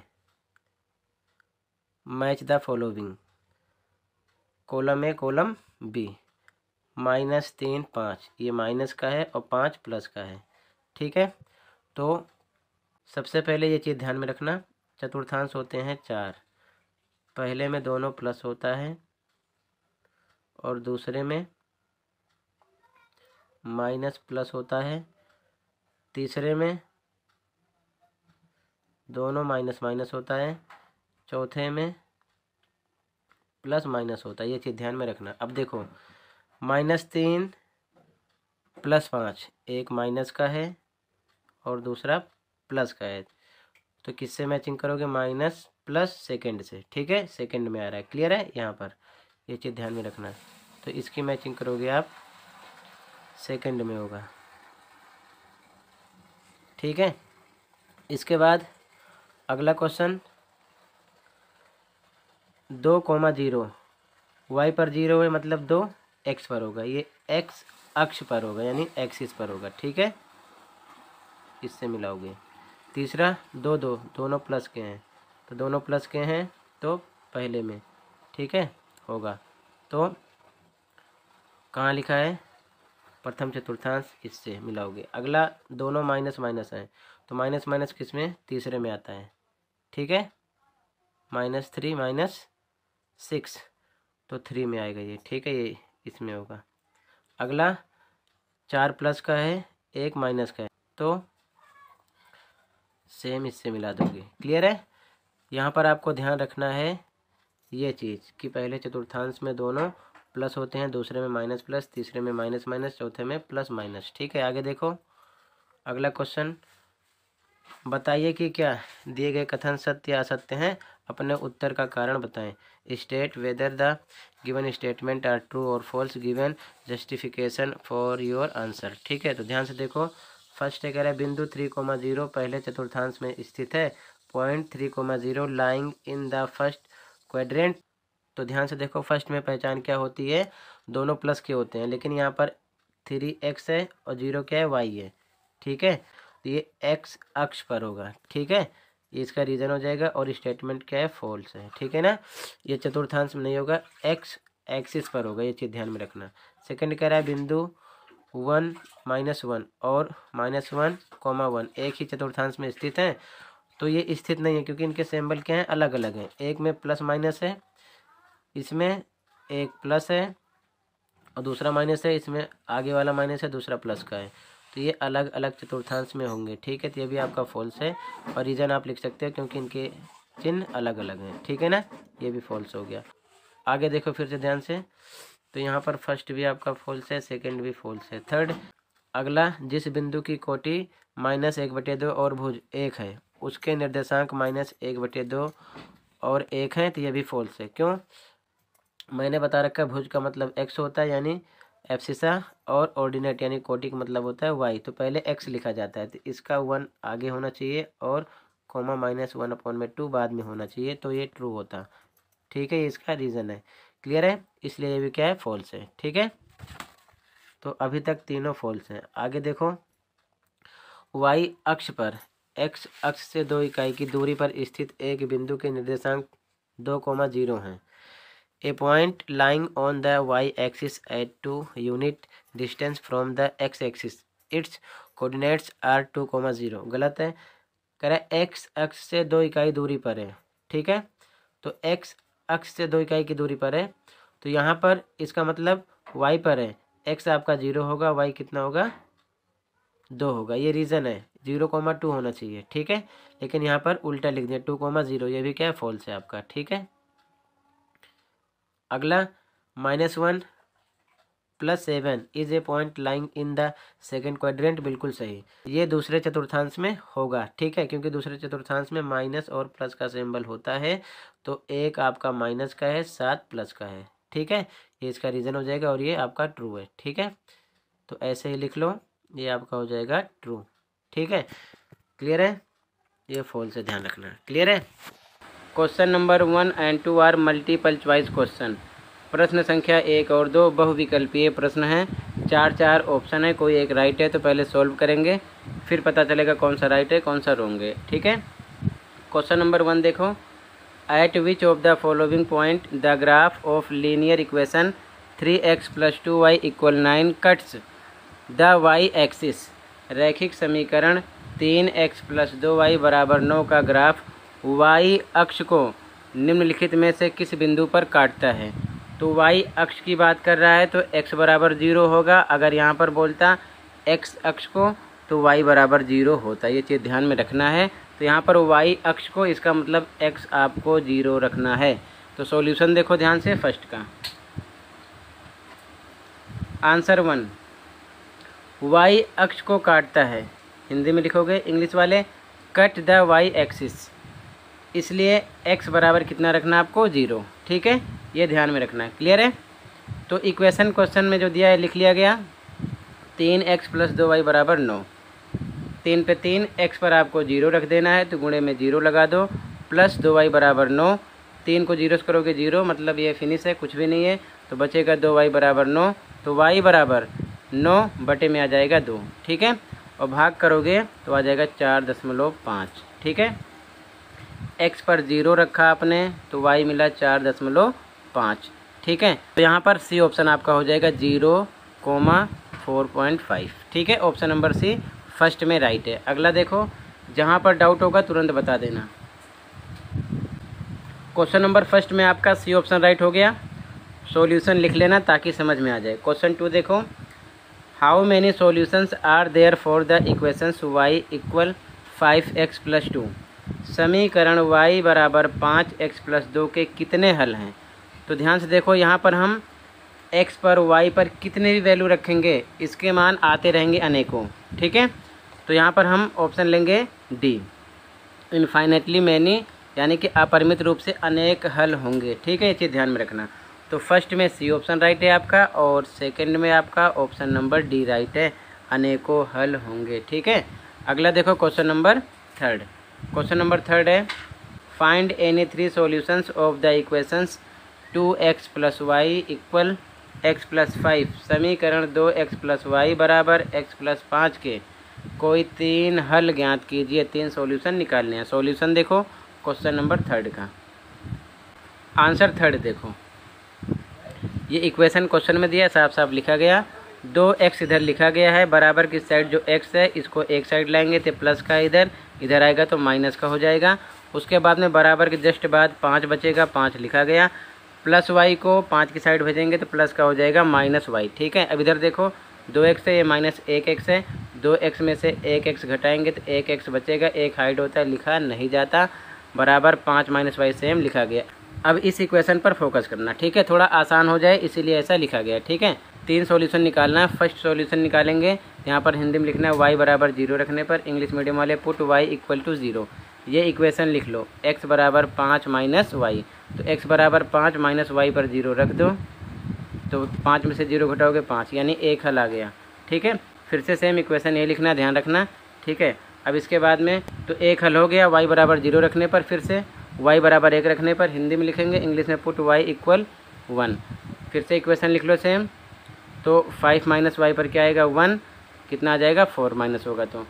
ये दो सॉल्यूशन हो गए, ठीक है? इसके बाद में फिर से वाई बराबर दो रखने पर इंग्लिश मीडियम में लिखेंगे put Y equal to equation फिर से सेम लिख लो। वाई पर दो रख दो माइनस कर दो थ्री आ जाएगा, ठीक है ना? कितना आ जाएगा? थ्री तीन सॉल्यूशन हो गए, तीन बोल रहा है। अब ध्यान रखना है आपको कि आप चाहो तो अलग सॉल्यूशन भी निकाल सकते हो। ज़ीरो एक दो तीन चार पाँच छः कोई सा भी नंबर रखकर, इसका कोई रूल नहीं है, ठीक है ना? अपने अकॉर्डिंग कोई सा भी नंबर पुट कर सकते हो। अब देखो ध्यान से कैसे लिखेंगे। चाहो तो यहाँ पर लिख सकते हो, पाँच कोमा ज़ीरो, पहले एक्स का लिखते हैं, इधर लिख सकते हो, चार कोमा एक, ये किधर से आ रहा है? जो सॉल्यूशन निकला, इधर लिख सकते हो, तीन कोमा दो, ठीक है? या फिर बॉक्स बना लो, ऐसे ही आराम से लिख लो, ध्यान से देखो।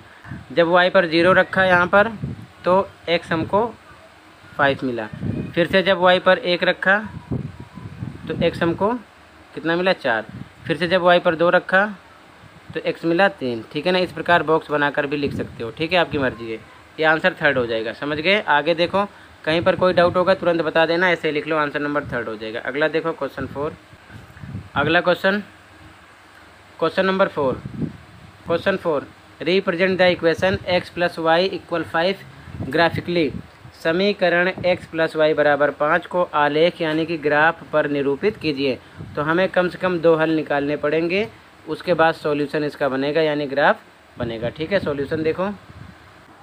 आंसर फोर इक्वेशन लिख लिया गया। सबसे पहले हमको कम से कम दो हल निकालने हैं। चाहो तो आप तीन चार भी निकाल सकते हो। तो सबसे पहले लिखेंगे इंग्लिश में पुट एक्स इक्वल ज़ीरो यानी एक्स बराबर ज़ीरो रखने पर इक्वेशन लिख लो। एक्स प्लस वाई बराबर पाँच एक्स पर रख दो ज़ीरो प्लस वाई बराबर पाँच तो वाई मिलेगा आपको पाँच। एक हल हो गया, ठीक है? उसके बाद में फिर से सेम इक्वेशन लिखो। फिर से put Y equal zero Hindi में वाई बराबर ज़ीरो रखने पर। फिर से इक्वेशन लिखा गया। इस बार वाई पर ज़ीरो रखना है वाई पर ज़ीरो रख दो तो एक्स मिल जाएगा कितना? पाँच। तो इसके दो हल हो गए, ठीक है ना? आप तीन चार भी निकाल सकते हो, लेकिन कम से कम दो। एक बार एक्स पे रखो, एक बार वाई पर ईजिली आ जाता है, ठीक है? तो देखो, जब एक्स पर ज़ीरो रखा गया एक्स पर ज़ीरो रखा तो वाई क्या मिला? पाँच पाँच आ गया। उसके बाद में जब वाई पर ज़ीरो रखा तो एक्स क्या मिला आपको? पाँच। ठीक है ना? इस प्रकार लिख देना। अब हमें ग्राफ पर इसे शो करना है। तो ये ग्राफ है, ध्यान से देखना, ठीक है? तो बच्चों, ये एक्स एक्सिस है और ये है वाई एक्सिस यानी कि एक्स अक्ष वाई अक्ष, ठीक है? अब ध्यान से देखो एक्स पर हाईएस्ट नंबर फाइव है वाई पर भी हाईएस्ट नंबर फाइव है। तो एक्स पर भी पाँच आगे बढ़ना है वाई पर भी पाँच आगे बढ़ना है। तो ये एक्स पर हो जाएगा। एक, दो, तीन, चार, पाँच, छः। आगे बढ़ सकते हो, लेकिन पाँच से कम नहीं होना चाहिए। वाई पर भी सेम एक, दो, तीन, चार, पाँच, छः। ठीक है, पाँच तक होना चाहिए। अब इसके बाद में एक्स पर ज़ीरो है वाई पर पाँच है। तो एक्स पर ज़ीरो वाई पर पाँच कहाँ पर होगा? ये है। एक्स पर ज़ीरो वाई पर पाँच, ये है। ठीक है ना? तो पहला पॉइंट ये होगा। दूसरा पॉइंट क्या है? एक्स पर पाँच है वाई पर ज़ीरो है। तो एक्स पर पाँच है वाई पर ज़ीरो कहाँ पर है? ये है, ठीक है? अब इन दोनों बिंदुओं से होती हुई एक रेखा आपको खींचना है, ठीक है ना ये?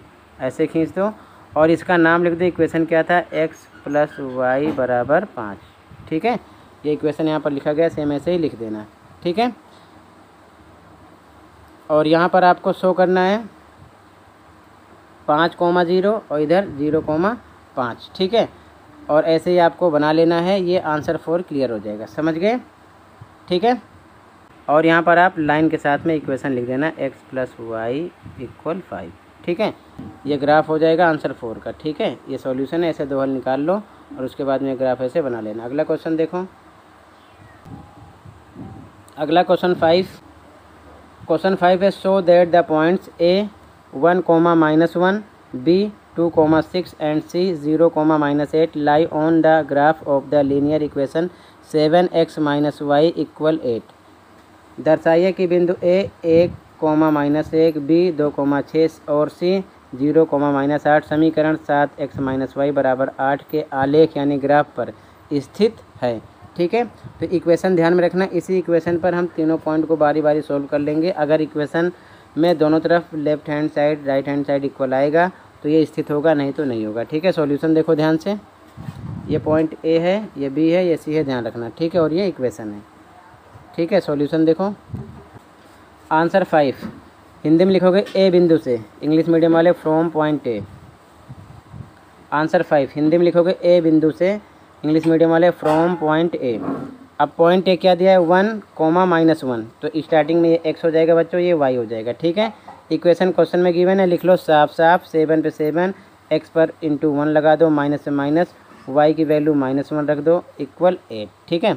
अब देखो, सेवन वन जा सेवन माइनस माइनस हो जाएगा प्लस वन इक्वल एट इधर भी seven plus one eight equal eight मतलब कि लेफ़्ट हैंड साइड इक्वल निकल रहा है राइट हैंड साइड के ये तो स्थित क्लियर हो गया, ठीक है ना? अगला पॉइंट देखो, इसी प्रकार फिर से लिखेंगे। बी बिंदु से हिंदी में इंग्लिश मीडियम वाले फ्रॉम पॉइंट बी क्वेश्चन में दिया है। कितना है? टू सिक्स ठीक है? तो ये एक्स हो जाएगा, ये वाई हो जाएगा।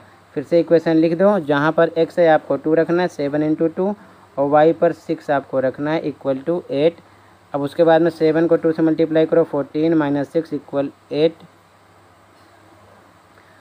fourteen में से सिक्स जाएगा एट इक्वल एट यानी कि लेफ़्ट हैंड साइड इक्वल निकल रहा है राइट हैंड साइड के मतलब ये भी बिंदु स्थित होगा। अब इसके बाद में फिर से आगे लिखेंगे सी बिंदु से।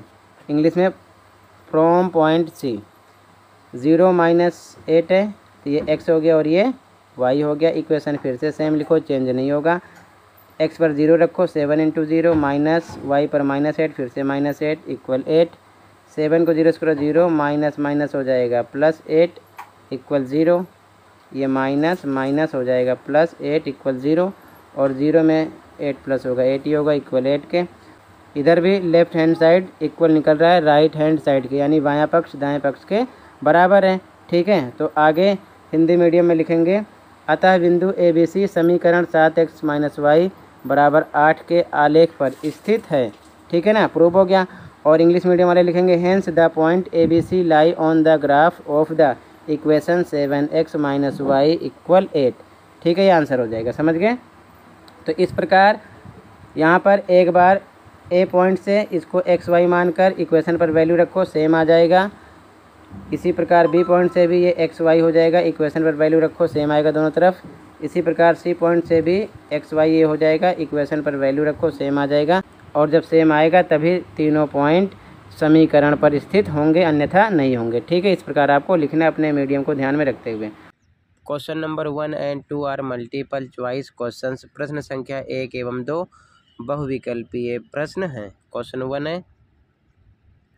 Which of the following line parallel to x axis निम्नलिखित में से कौन सी समीकरण रेखा एक्स अक्ष के समांतर है? अगर एक्स अक्ष के समांतर होगा, यानी ये एक्स एक्सिस है और ये वाई है तो ये ध्यान में रखना एक्स की वैल्यू ज़ीरो होगी वाई की कोई ना कोई वैल्यू होगी। तो ए ऑप्शन में एक्स बराबर दिया है सात, ये नहीं हो सकता।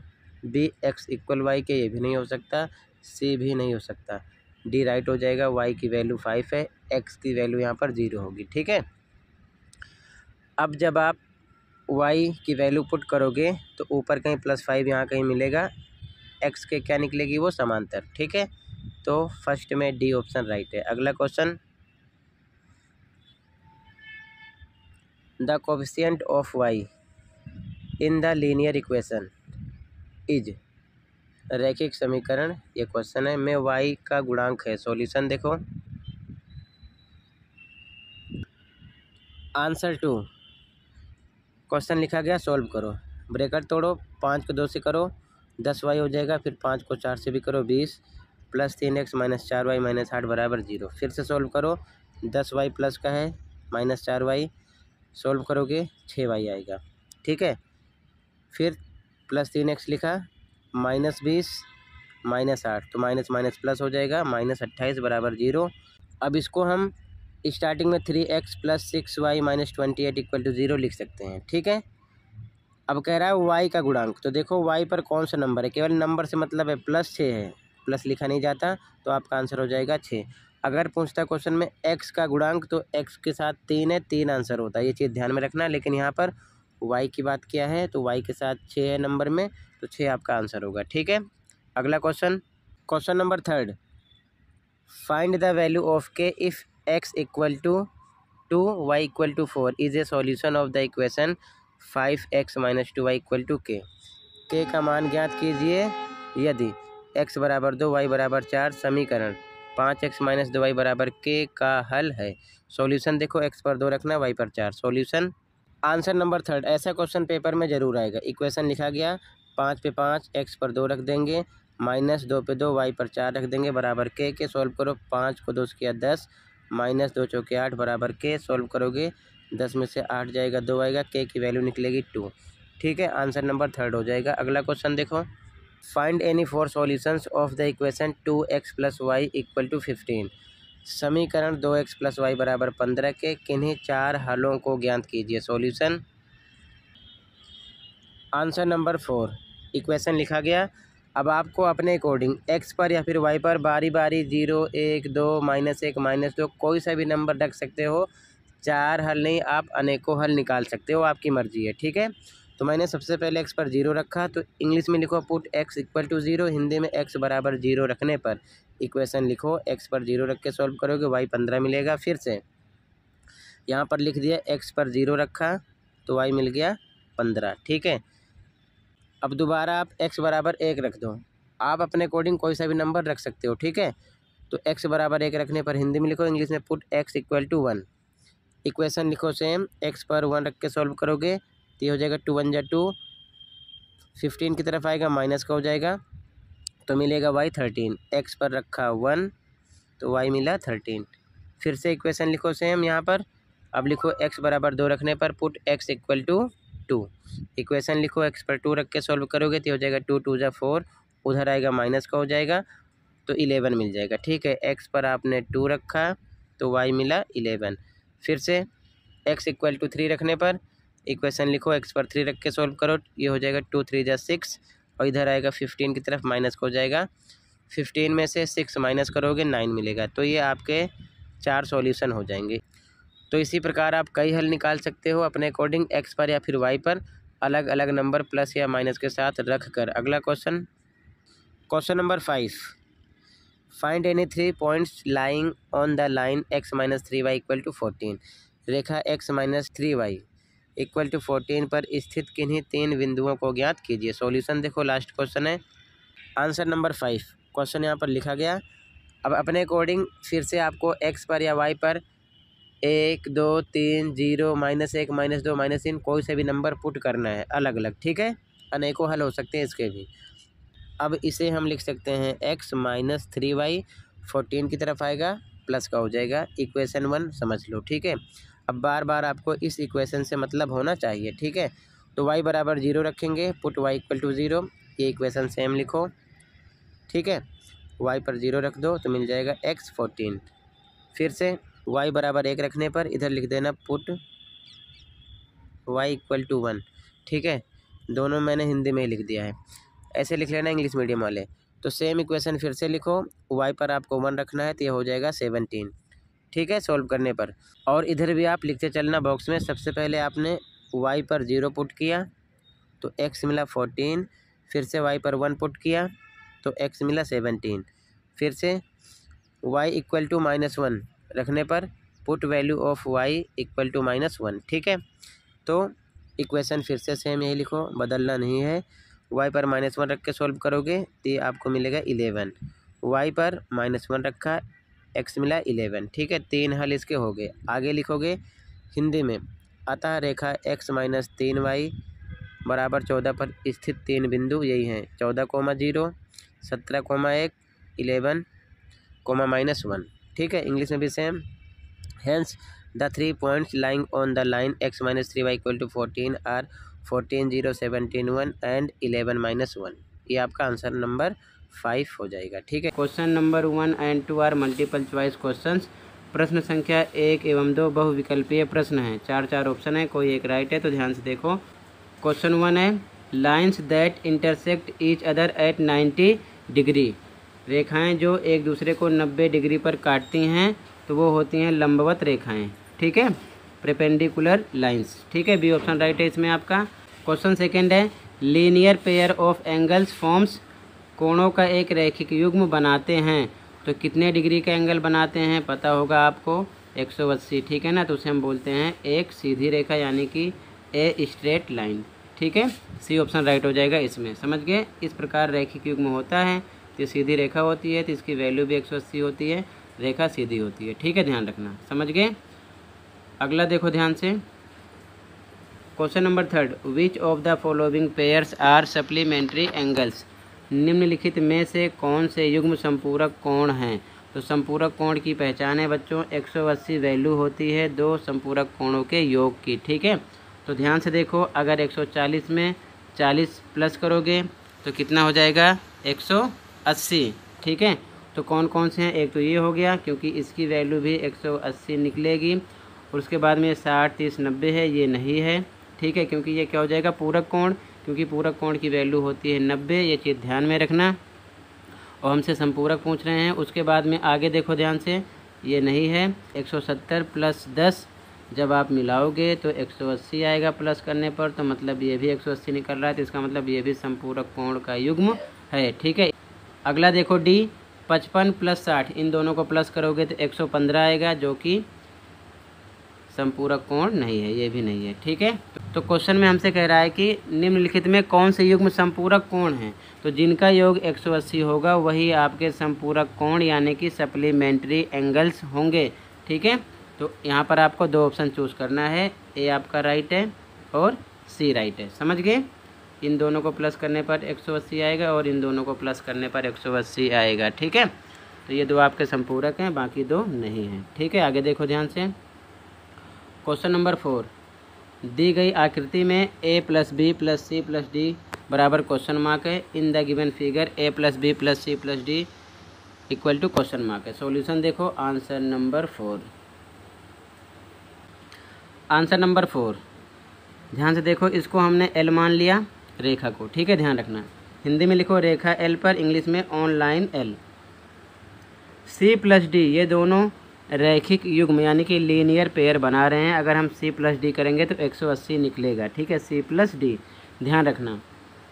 तो लिखेंगे angle C plus angle D बराबर 180 के क्यों? इक्वेशन वन इसको लिख दो, यानी समीकरण एक। हिंदी में रीजन लिख दो, रैखिक युग्म है, और इंग्लिश में लीनियर पेयर है। कंडीशन दिखा दो रीजन दिखा दो कि किस कारण एक सौ अस्सी हम कर रहे हैं, ठीक है? अब इसके जस्ट नीचे देखो, नीचे की तरफ़, ध्यान से देखो। ये नीचे की तरफ़, इधर भी दो एंगल हैं। ए और ये बी है। इन दोनों को भी मिलाकर रैखिक युग्म हो रहा है, एक सौ अस्सी के निकलेगा। तो यहाँ लिखेंगे और एंड इंग्लिश में angle A plus angle B angle A plus angle B बराबर एक सौ अस्सी के होगा इक्वेशन टू हो गया, समीकरण दो। रीजन लिख दो, रैखिक युग्म हिंदी में इंग्लिश में लीनियर पेयर है। ठीक है, समझ में आ गई बात? अब ध्यान से देखो आगे। यहाँ पर हम लिखेंगे समीकरण एक और समीकरण दो जोड़ने पर इंग्लिश में adding equation one and two लिख लेना। इक्वेशन वन ये है, इक्वेशन टू ये है, ठीक है? तो इस साइड वाले पार्ट को हम एक तरफ़ जोड़ लेंगे तो angle C plus angle D लिखा गया, फिर plus angle A plus angle B लिखा गया, बराबर। और इस साइड का दूसरी तरफ़ एक साथ जोड़ लो 180 प्लस 180 इधर लिख दिया गया, ठीक है? आगे देखो ध्यान से, ये टोटल हमको प्लस ही करना है, ठीक है? तो जब आप प्लस करोगे तो आगे पीछे भी इसको हम लिख सकते हैं। तो पहले हमने सीरियल वाइज लिख दिया angle A plus angle B plus angle C plus angle D बराबर 180 प्लस 180 360 तो angle A plus angle B plus angle C plus angle D बराबर 360 के आएगा। यही हमको निकालना था। ये आपका आंसर हो गया, ठीक है? आंसर नंबर फोर ठीक है? तो ऐसे ही लिख लो। कहीं पर कोई डाउट होगा तो बता देना। अगला क्वेश्चन देख लो आप, ध्यान से। अगला क्वेश्चन नंबर फाइव देखो। मिलान कीजिए। Match the following. ठीक है ना? मैचिंग करना है। ध्यान से देखो। Column A, column B. यहाँ पर lines that don't intersect each रेखाएँ जो एक दूसरे को नहीं काटती। अगर दोनों रेखाएँ एक दूसरे को नहीं काटेंगी तो ऐसे सीधी जा सकती हैं या ऐसे जा सकती हैं या फिर ऐसे जा सकती हैं। तो ये होती हैं समांतर रेखा, यानी कि पैरेलल लाइंस तो इसकी मैचिंग आपको समांतर रेखा से करना है।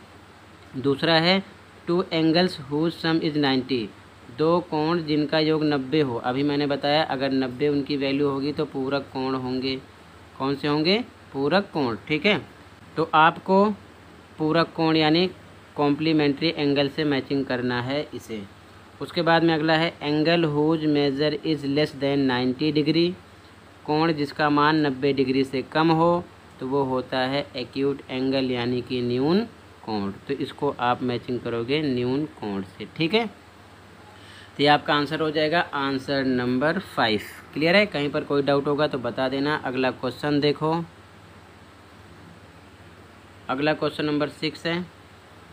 In the given figure angle C O D is a right angle C O D ये राइट एंगल है नब्बे का है। इसकी value find the value of y y हमको निकालना है। दी गई आकृति में कोण सी ओ डी एक सम कोण है। वाई का मान ज्ञात कीजिए। लास्ट क्वेश्चन है। ध्यान से देखो इसका solution answer number six Hindi में लिखो रेखा ए ओ बी पर। मैंने यहाँ पर लिख दिया है ए ओ बी ध्यान से देखो, ऊपर पूरा रैखिक युग्म बन रहा है। ठीक है तो क्वेश्चन में ये आपको पता है, नब्बे दिया है। समकोण है तो इसकी वैल्यू नब्बे है। और जब भी ऐसे हो ना तो समझ लेना कि उसकी वैल्यू नब्बे है, ठीक है? ध्यान रखना। तो फिर से देखो, यहाँ पर हम चालीस प्लस इसकी वैल्यू कितनी है? नब्बे प्लस वाई जोड़ेंगे। चालीस प्लस नब्बे प्लस वाई बराबर एक सौ अस्सी के। क्यों? हिंदी में लिखो रैखिक युग्म, इंग्लिश में लीनियर पेयर ठीक है? अब ध्यान से देखो, आगे। चालीस नब्बे जोड़ो, एक सौ तीस हो जाएगा। प्लस वाई बराबर एक सौ अस्सी तो वाई बराबर एक सौ तीस प्लस का है, इधर आएगा तो माइनस का हो जाएगा। तो वाई बराबर माइनस करने पर आपको मिलेगा पचास। ठीक है ना? पचास डिग्री। ये आपका आंसर हो जाएगा आंसर नंबर सिक्स, ठीक है? Question number one and two are multiple choice question प्रश्न संख्या एक एवं दो बहुविकल्पीय प्रश्न है। क्वेश्चन वन देखो। If two lines intersect each other then the pair of vertically opposite angles is यदि दो रेखाएँ प्रतिच्छेद करती हैं तो शीर्षाभिमुख कोणों का योग होता है। इस प्रकार। ठीक है? दो रेखाएँ प्रतिच्छेद करेंगी। तो ये एंगल इसके इक्वल होगा, ये वाला इसके। तो यहाँ पर आपका ए ऑप्शन राइट होगा, समान, यानी कि equal second question the sum of all three angles of a triangle is एक त्रिभुज के तीनों कोणों का योग होता है। एक सौ अस्सी, ठीक है? डी ऑप्शन अगला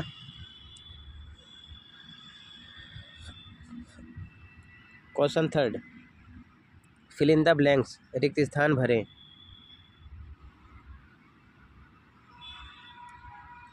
A, the sum of angles on a straight line is, एक सीधी रेखा पर बने। कोणों का योग होता है तो सीधी रेखा पर कोई सा भी एंगल बनेगा वन एट्टी का होता है। ठीक है? अगला। If two lines are perpendicular to each other the angles formed are यदि दो रेखाएँ एक दूसरे पर लंबवत हों तो बनने वाले कोण डैश होते हैं। अगर इस प्रकार से लंबवत होंगी तो 90 डिग्री बनेगा दोनों तरफ़, ठीक है? क्लियर है? तो यहाँ पर आपको 90 फिल करना है।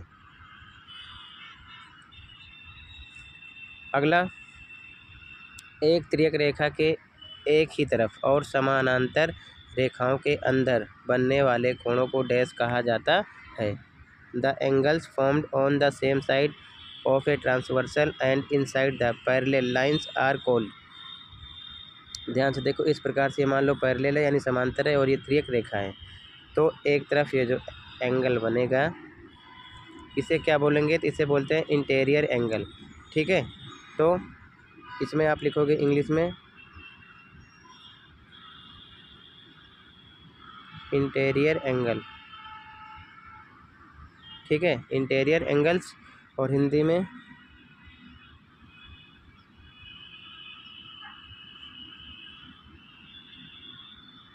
आंतरिक कोण।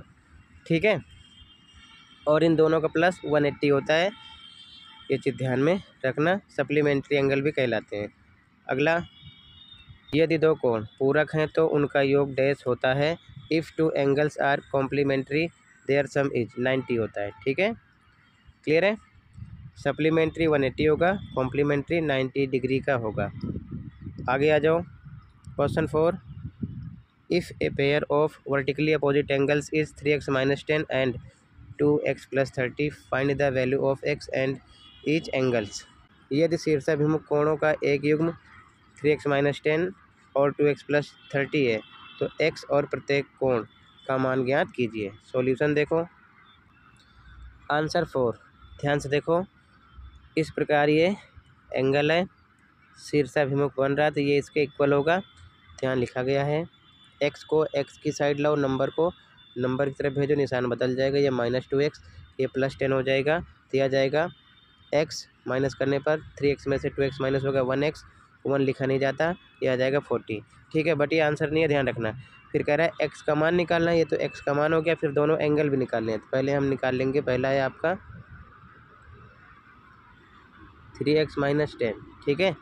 तो थ्री पे थ्री एक्स की वैल्यू रख दो, कितना? फोर्टी माइनस टेन ये आ जाएगा one twenty minus ten one hundred ten आ गया, ठीक है?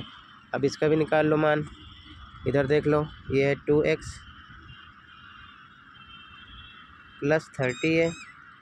टू पे टू, एक्स की वैल्यू कितना रखोगे? Forty plus thirty. तो ये कितना हो जाएगा?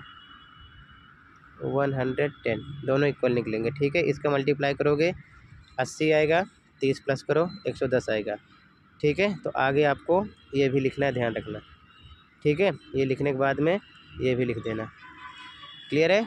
आंसर फोर हो जाएगा। अगला क्वेश्चन देखो।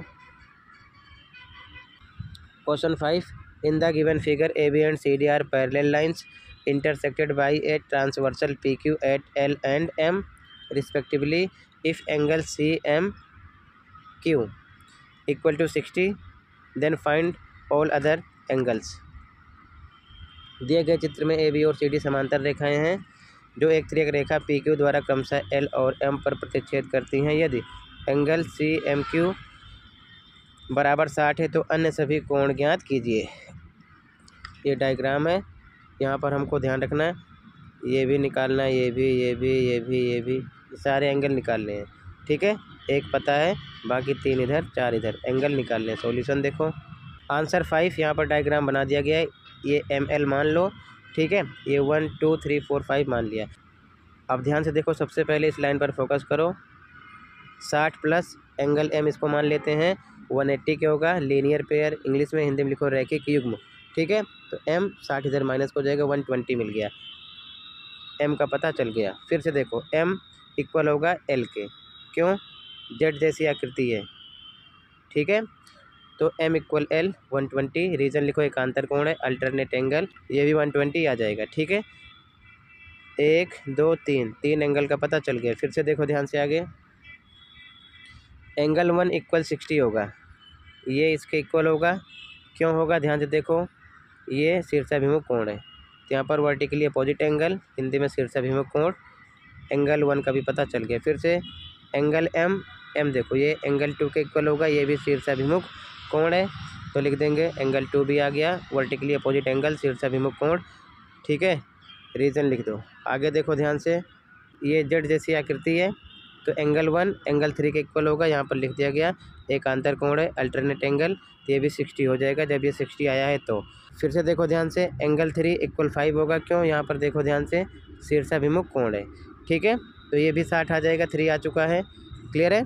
थ्री ऊपर आप निकाल चुके हो। अगला देखो सेवन एंगल एल इक्वल होगा एंगल फोर के, ठीक है? यहाँ पर देखो एंगल एल ये इक्वल होगा फोर के, क्यों? शीर्षाभिमुख कोण है? वर्टिकली अपोजिट एंगल तो यहाँ पर लिख दो, ये भी वन ट्वेंटी आ जाएगा। और यहाँ पर शीर्षाभिमुख कोण, हिंदी में इंग्लिश में वी बनाओ वर्टिकली अपोजिट एंगल ठीक है ना? वी ओ ए क्लियर है? तो सारे एंगल आ जाएँगे, आठ एंगल निकालने थे, एक यहाँ पर हमको पता था। तो ये आंसर आपका फाइव हो जाएगा। क्लियर है? Question number one and two are multiple choice question प्रश्न संख्या एक एवं दो बहुविकल्पीय प्रश्न है यानी कि चार चार ऑप्शन है, कोई एक राइट है तो ध्यान से देखो, question number one. Question one है, in an isosceles triangle A B C, two equal sides are A B and B C, if angle A equal to sixty degree, then value of angle C is एक। समबाहु त्रिभुज ए B सी में दो बराबर भुजाएँ, A B और B सी हैं, यदि angle A बराबर साठ है तो एंगल सी का मान होगा। अब ध्यान से देखो यहाँ पर। तो आंसर वन में मान लो ये हमारा ट्रायंगल ए, बी, सी है। ठीक है? ए, बी, सी है। A, B B, C. A, B B, C बराबर भुजाएँ हैं। ठीक है? ए, बी बी, सी बराबर भुजाएँ हैं। और वैसे भी समबाहु त्रिभुज की सारी भुजाएँ क्या होती हैं? बराबर होती हैं। ये अपने दिमाग में रखना। और प्रत्येक कोण साठ का होता है। तो एंगल ए साठ दिया है। तो एंगल सी हमसे पूछ रहा है। तो एंगल सी भी आपका साठ होगा। ठीक है? क्योंकि बराबर भुजाओं के सम्मुख कोण बराबर होते हैं। और वैसे भी दूसरे तरीके से एक समबाहु त्रिभुज यानी कि आइसोसिलिस ट्रायंगल में प्रत्येक कोण साठ डिग्री का होता है। ये दिमाग में रख लेना। तो फ़र्स्ट क्वेश्चन में आपका ऑप्शन नंबर ए राइट है साठ। सेकंड क्वेश्चन देखो। कह रहा है कि in S S S congruency rule S represents S S S सर्वांग क्षमता नियम में एस दर्शाता है तो एस का मतलब होता है बच्चों साइड और साइड का मतलब होता है भुजा, ठीक है? तो यहाँ पर आपका बी ऑप्शन राइट होगा, ठीक है? बी ऑप्शन आगे देखो। अगला question third in the figure given below triangle A B C and triangle D E F are congruent by which congruency rule नीचे दी गई आकृतियों में त्रिभुज ए बी सी और त्रिभुज डी ई एफ़ किस सर्वांग समता नियम से सर्वांग सम है? तो ध्यान से देखो इसका सॉल्यूशन आंसर थर्ड ये ट्रायंगल है, मैंने समझने के लिए बगल में बना दिया, ध्यान से देखो। हिंदी में लिखो त्रिभुज ए B C A B C और त्रिभुज डी ई एफ़ में। इंग्लिश में in triangle A B C and D E F ध्यान से देखो, ये side B C single symbol के साथ ये इसके इक्वल दिखाया गया है। मतलब कि बी सी बराबर है ई e एफ़ के। यहाँ पर लिखा गया बी सी बराबर ई e एफ़ हिंदी में दिया है। इंग्लिश में गिवेन इसी प्रकार ये साइड देखो, ये डबल सिंबल के साथ है इसको इसके इक्वल दिखाया गया है। मतलब ए बी बराबर डी ई के, यहाँ पर लिखा गया ए बी बराबर डी ई हिंदी में लिखो, दिया है, इंग्लिश में गिवन ये एंगल इसके इक्वल दिखाया गया डबल सिंबल के साथ में एंगल बी बराबर एंगल ई के।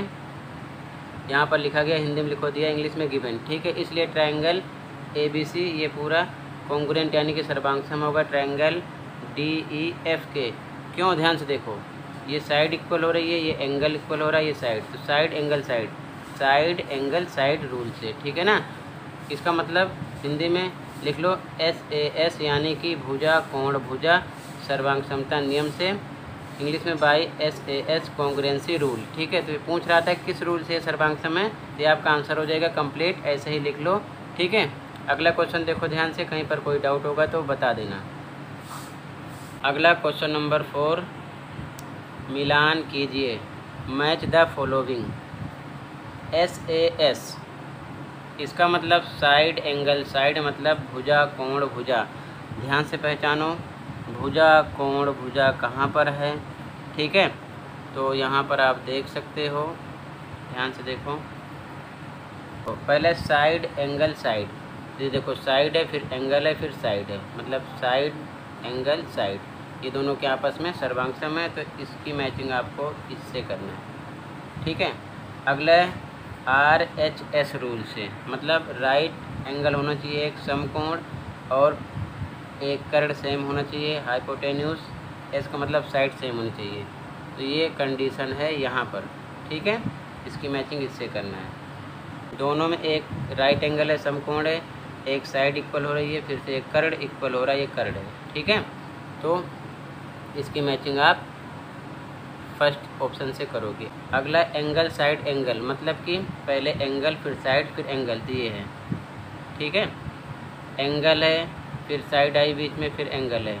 एंगल साइड एंगल इस रूल से दोनों आपस में क्या है? सर्वांगसम है। ठीक है? ध्यान रखना। यानी कि कोण भुजा कोण, समकोण कर्ण भुजा, और इसका मतलब भुजा कोण भुजा। ठीक है? ऐसे मैचिंग कर लो, ये आंसर नंबर फोर हो जाएगा। अगला देखो ध्यान से। Question number five.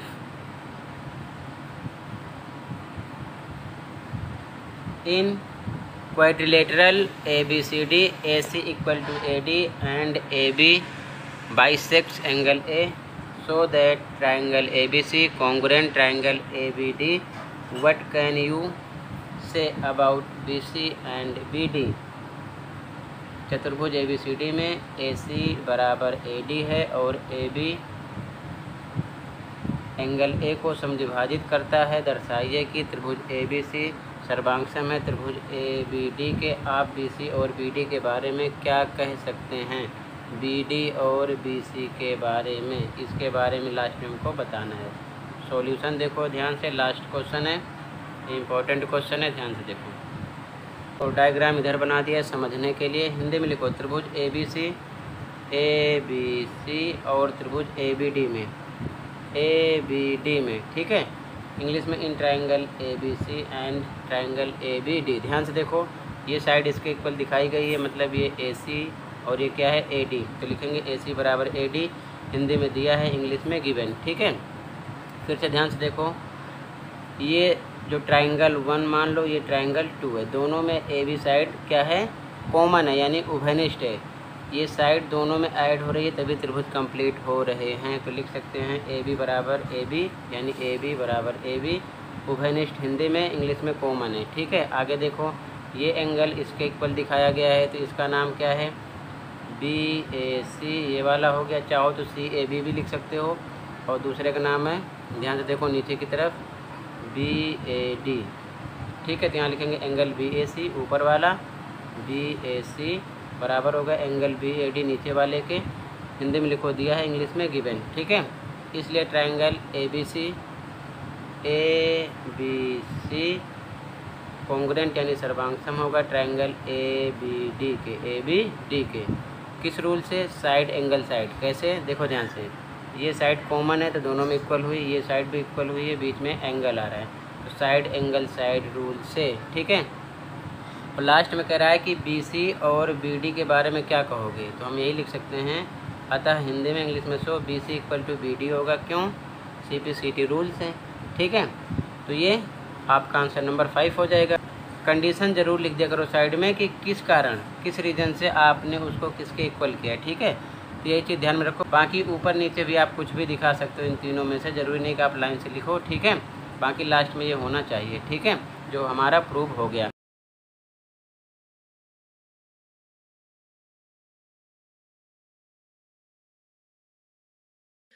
प्रश्न संख्या एक एवं दो। बहुविकल्पीय प्रश्न हैं। यानी question number one and two are multiple choice questions. Question one है which is the longest chord of the circle वृत्त की सबसे बड़ी जीवा कौन सी होती है? तो वृत्त की सबसे बड़ी जीवा व्यास होती है, जो केंद्र से होते हुए जाती है। ठीक है? तो फ़र्स्ट में आपका ए ऑप्शन राइट है। व्यास यानी कि डायमीटर ठीक है? सेकंड क्वेश्चन है, एक चक्रीय चतुर्भुज के सम्मुख कोणों के हर एक युग्मों का योग होता है। The sum of each pair of opposite angles of a cyclic quadrilateral is one eighty होता है, एक सौ अस्सी, ठीक है? इसमें डी ऑप्शन राइट है। तो फ़र्स्ट में ए ऑप्शन सेकंड में डी ऑप्शन राइट है। क्लियर है? आगे आ जाओ। Question number third. क्वेश्चन है, सिद्ध कीजिए कि वृत्त की समान जीवाएँ केंद्र पर समान कोण बनाती हैं। Prove that equal chords of a circle subtend equal angles at the centre ये आपके चैप्टर की थ्योरम है, यानी कि प्रमेय है। मोस्ट इंपॉर्टेंट है। ध्यान से देखो ताकि समझ में आ जाए ओके आंसर नंबर थर्ड सबसे पहले आप हिंदी में देख लो, उसके बाद में इंग्लिश में। अलग अलग आंसर है, ठीक है? ध्यान से देखो, पहले हिंदी में। ये डायग्राम बना लो। लिखो, दिया है, ओ केंद्र वाला एक वृत्त, ओ केंद्र वाला एक वृत्त जिसकी जीवाएँ बराबर हैं। जीवा कौन सी है? ए, बी और सी, डी। ये आपस में बराबर है, इसलिए ए, बी बराबर, सी, डी।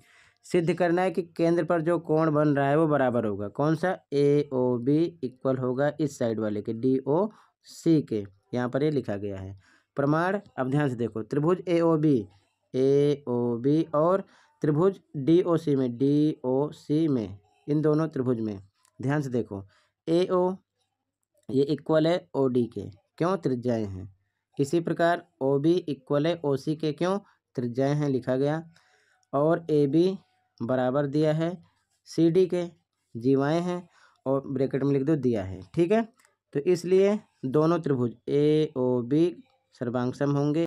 त्रिभुज, डी ओ सी के ये सर्वांगसम का सिंबल है। किस रूल से? साइड साइड साइड नियम से लिख लो ब्रैकेट में मतलब भुजा भुजा भुजा नियम से। ये साइड इसके इक्वल है, ये वाली इसके, ये वाली इसके, ठीक है? और जब त्रिभुज सर्वांगसम है तो लिखोगे अतः एंगल ए ओ बी ये वाला इक्वल होगा डी ओ सी के, ठीक है? जो हमें प्रूव करना था, ठीक है? और ब्रैकेट में लिखो C P C T rule से ये होता क्या है? इधर मैंने लिख दिया समझने के लिए। इंग्लिश में मतलब है इसका corresponding parts of congruent triangle Hindi में सर्वांगसम त्रिभुज के संगत भाग हैं। ठीक है? हिंदी में प्रूव हो गया। ठीक है? आगे देखो। इंग्लिश में सेम ये तो क्वेश्चन ही है आपका। ये मत लिखना। आंसर यहाँ से स्टार्ट करना। ठीक है? Given a circle with centre O same diagram आप बना लेना। A B and C D are equal chords of circle, A B and C D. इसलिए A B equal C D के होगा। ठीक है, यहाँ पर लिखा गया है। To prove angle A O B, A O B equal होगा डी ओ सी के, इसके। ठीक है, proof in triangle A O B, A O B and D O C, D O C में। देखो ध्यान से, A O equal O D के रेडियस है, इसी प्रकार ध्यान से देखो। A B C, D equal होगा। क्वेश्चन में गिवन है, वैसे भी कोर्स से ठीक है? अब ओ सी ओ बी के इक्वल होगा, क्या है? रेडियस है, ठीक है? तो फिर दोनों ट्राइंगल आपस में क्या होंगे? कॉन्ग्रेंट होंगे, यहाँ पर लिखा गया। किस रूल से? एस एस एस रूल से साइड साइड साइड से। Therefore angle A O B ये वाला इक्वल निकलेगा किसके? एंगल डी ओ सी के C P C T rule से। लिख दो हैंस प्रूव्ड हो चुका है, ठीक है? क्लियर है? और C P C T rule का मतलब मैंने ऊपर समझा दिया ओके तो ऐसे ही पूरा इंग्लिश में आंसर लिख लो, ठीक है? आंसर थर्ड कंप्लीट है। अगले क्वेश्चन पे आ जाओ। ये इंग्लिश में आंसर हो गया और ये हिंदी में थर्ड का, ठीक है? आगे देखो। आगे क्वेश्चन नंबर फोर पे आ जाओ। क्वेश्चन है the perpendicular from the centre of a circle to a chord bisects the chord एक वृत्त के केंद्र से एक जीवा पर खींचा गया लंब जीवा को समद्विभाजित करता है। ये भी थ्योरम है, यानी कि प्रमेय है। ठीक है, ध्यान से देखना, मोस्ट इंपॉर्टेंट है। सॉल्यूशन देखो। Answer number four. सबसे पहले हिंदी में देख लो, उसके बाद में इंग्लिश में अलग अलग लिखा है। ठीक है? तो हिंदी में देखो सबसे पहले, आंसर फोर। डायग्राम ऐसे ही बना लो। हिंदी में लिखो, दिया है ओ केंद्र वाला एक वृत्त। जीवा ए बी है, ए बी जीवा है, और ओ एम, ये इस पर लंब है, ठीक है?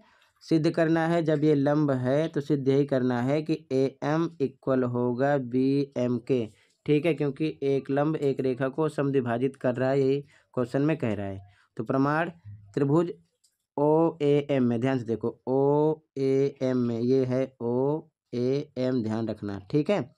और त्रिभुज ओ बी एम में, ओ बी एम में, इस वाले में दो त्रिभुज हैं।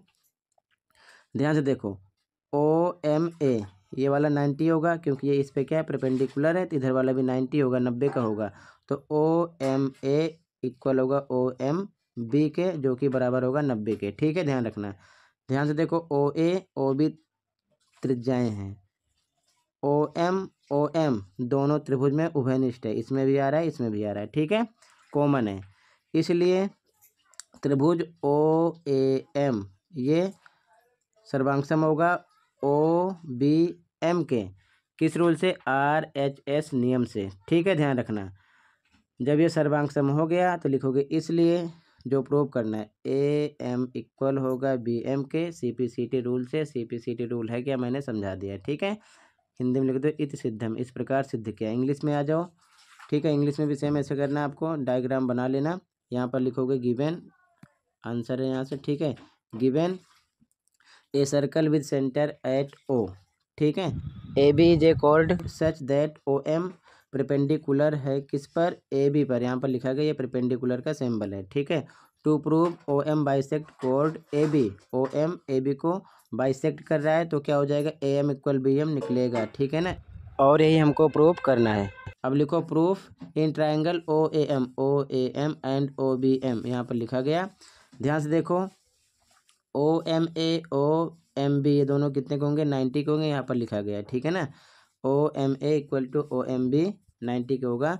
अब उसके बाद में O, A, O, B equal होगा, रेडियस है, और ओ, एम ओ, एम दोनों में कॉमन है, यानी कि उभयनिष्ठ है, इसलिए दोनों ट्राइंगल कौन कौन से? O, A, M, and O, B, M, क्या हो जाएँगे? आर, एच, एस रूल से कॉन्ग्रेंट हो जाएँगे, और जब कॉन्ग्रेंट हो जाएँगे तो ए एम इक्वल निकलेगा बी एम के C P C T rule से लास्ट में लिखोगे हैंस प्रूव्ड ठीक है? ये चीज़ ध्यान में रखना। तो ये इंग्लिश में आंसर हो जाएगा। अगला क्वेश्चन देखो। अगला क्वेश्चन नंबर फाइव है। In the given figure angle D A B D A B ये वाला सिक्सटी दिया है and angle A B D A B D ये वाला दिया है fifty degree find angle A C B ये हमको निकालना है। ठीक है?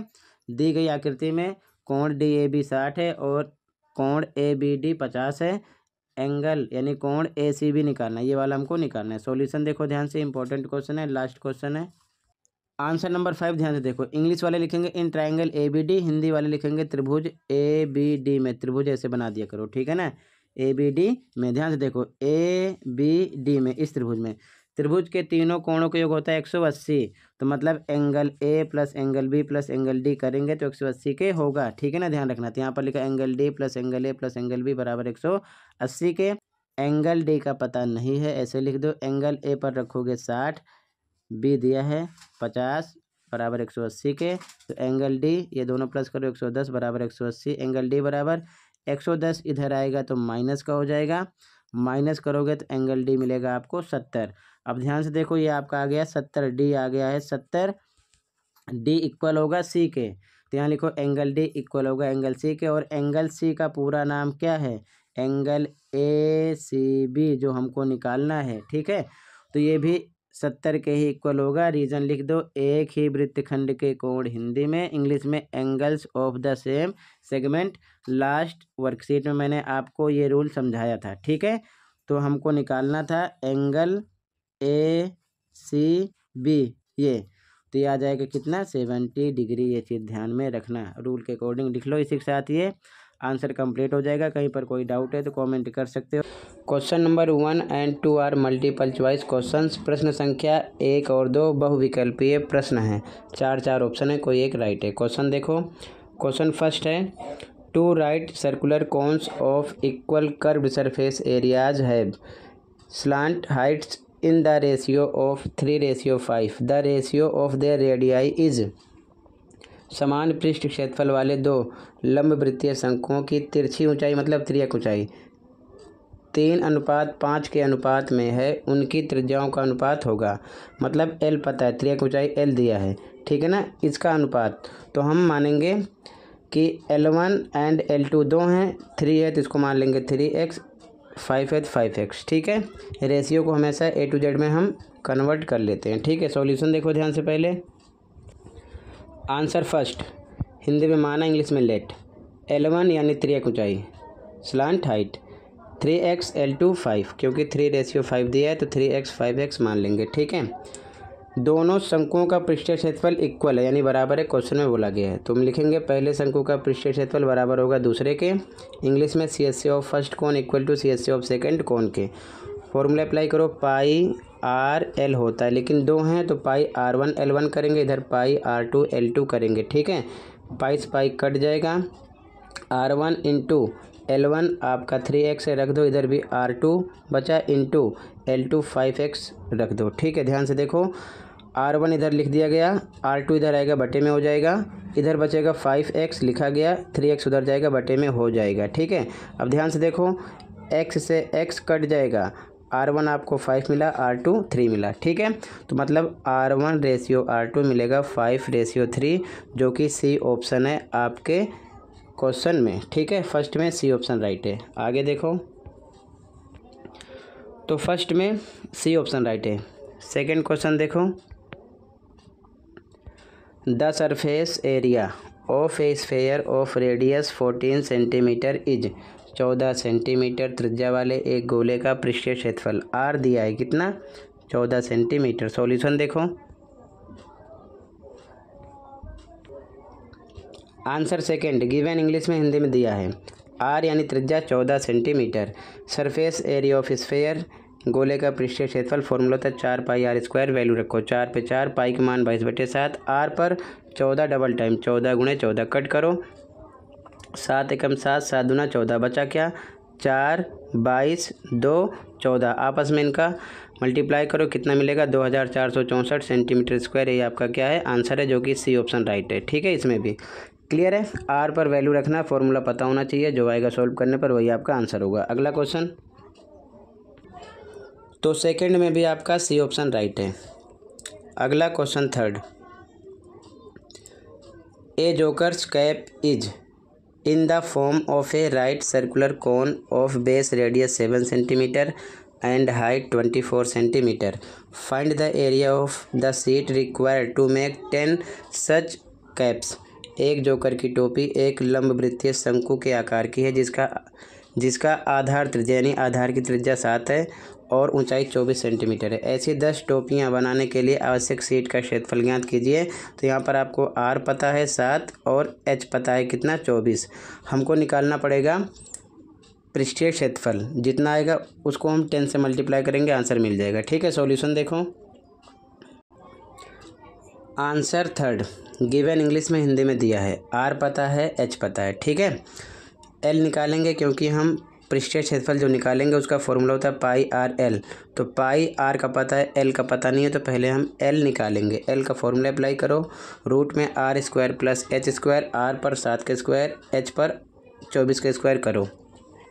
सात के स्क्वायर उनचास आएगा, चौबीस का पाँच सौ छिहत्तर आएगा, ठीक है? प्लस करो दोनों को छः सौ पच्चीस, और इसमें से पच्चीस निकलेगा, जो कि वर्गमूल है पच्चीस का, ठीक है? तो एल आपको पता चल गया कितना आ गया? पच्चीस, समझ गए?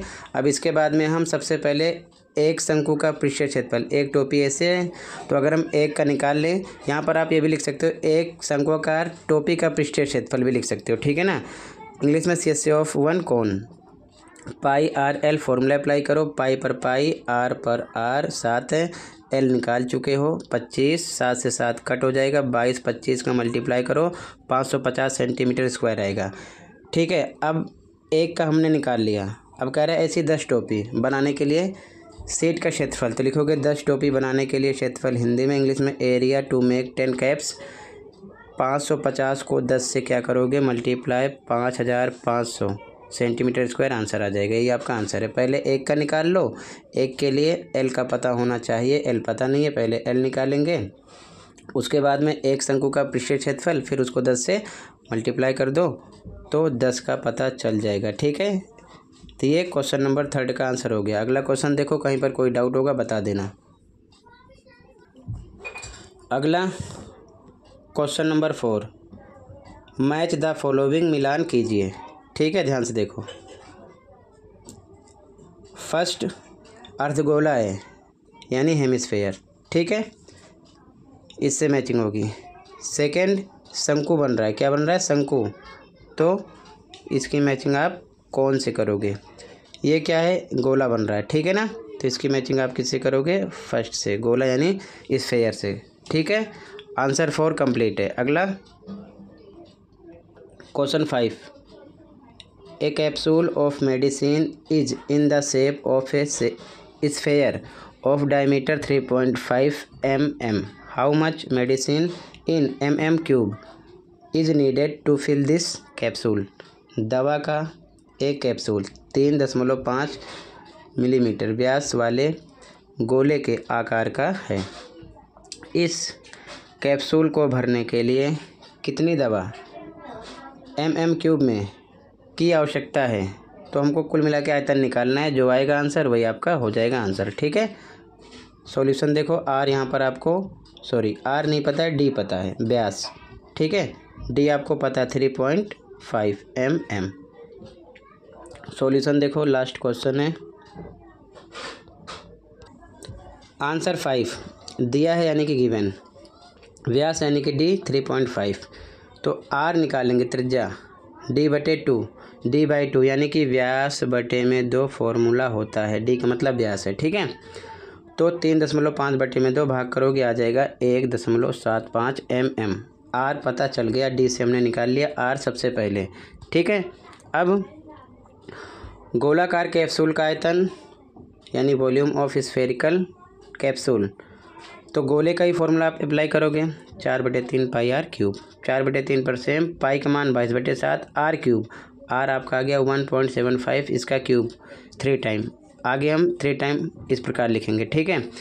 कट करोगे इसको सेवन वन जा सेवन ये आएगा ज़ीरो पॉइंट सात दूना चौदह, सात पच्चीस पैंतीस ज़ीरो पॉइंट टू फाइव आ गया, ठीक है? अब ध्यान से देखो।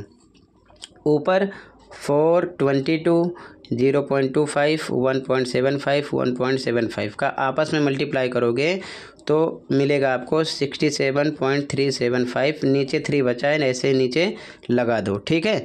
अब डिवाइड कर लेना थ्री से, जब डिवाइड करोगे तो आपको आंसर मिलेगा twenty two point four six ये फोर यहाँ पर देखो twenty two point four five ऐसे बढ़ता जाएगा तो हम फोर सिक्स लिख सकते हैं, ध्यान रखना, ठीक है? अब आगे लिख दोगे आप इंग्लिश में। Therefore the volume of medicine needed to fill the spherical capsule is twenty two point four six M M cube. Hindi में अथा गोलाकार कैप्सूल को भरने के लिए बाईस दशमलव चार छः एम एम थ्री दवा की आवश्यकता है। ठीक है, ये आपका आंसर हो जाएगा।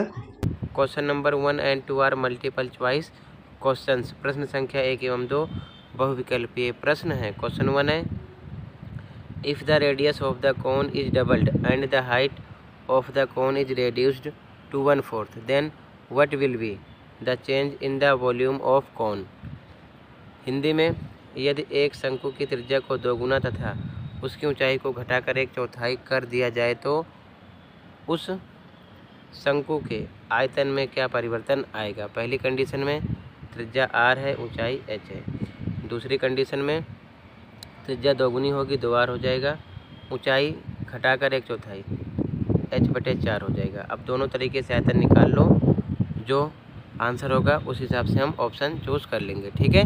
आंसर देखो। आंसर वन, दिया है यानी कि गिवन। पहली स्थिति में यानी कि इन फ़र्स्ट कंडीशन, त्रिज्या आर है, ऊंचाई एच है। अपने मीडियम के अकॉर्डिंग लिखना। तो आयतन निकालो यानी कि volume one by three pi R square H same ही रहेगा, क्योंकि आर एच सेम है, ठीक है? इन सेकंड कंडीशन, दूसरी स्थिति में त्रिज्या डबल हुई तो टू आर, ऊंचाई एक बटा चार तो एच बटे चार हो जाएगा, ठीक है? आयतन निकालो फिर से वॉल्यूम, फॉर्मूला अप्लाई करो वैल्यू रखो। एक बटे तीन पाई सेम आर पर two R double time H पर एच बाई फोर सॉल्व करो टू टू जा फोर टू से टू कट हो गया। मतलब सेम आ गया।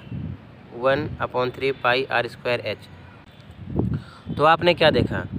सेकेंड कंडीशन में भी वही आयतन है जो फ़र्स्ट कंडीशन में है। कोई चेंजिंग नहीं है। तो आप क्या लिखोगे?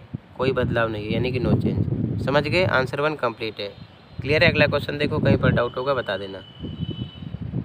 Question number two the curved surface area of a right circular cone of unit height and unit base radius is इकाई ऊंचाई तथा इकाई त्रिज्या वाले लंब वृत्तीय शंकु का वक्र पृष्ठीय क्षेत्रफल है।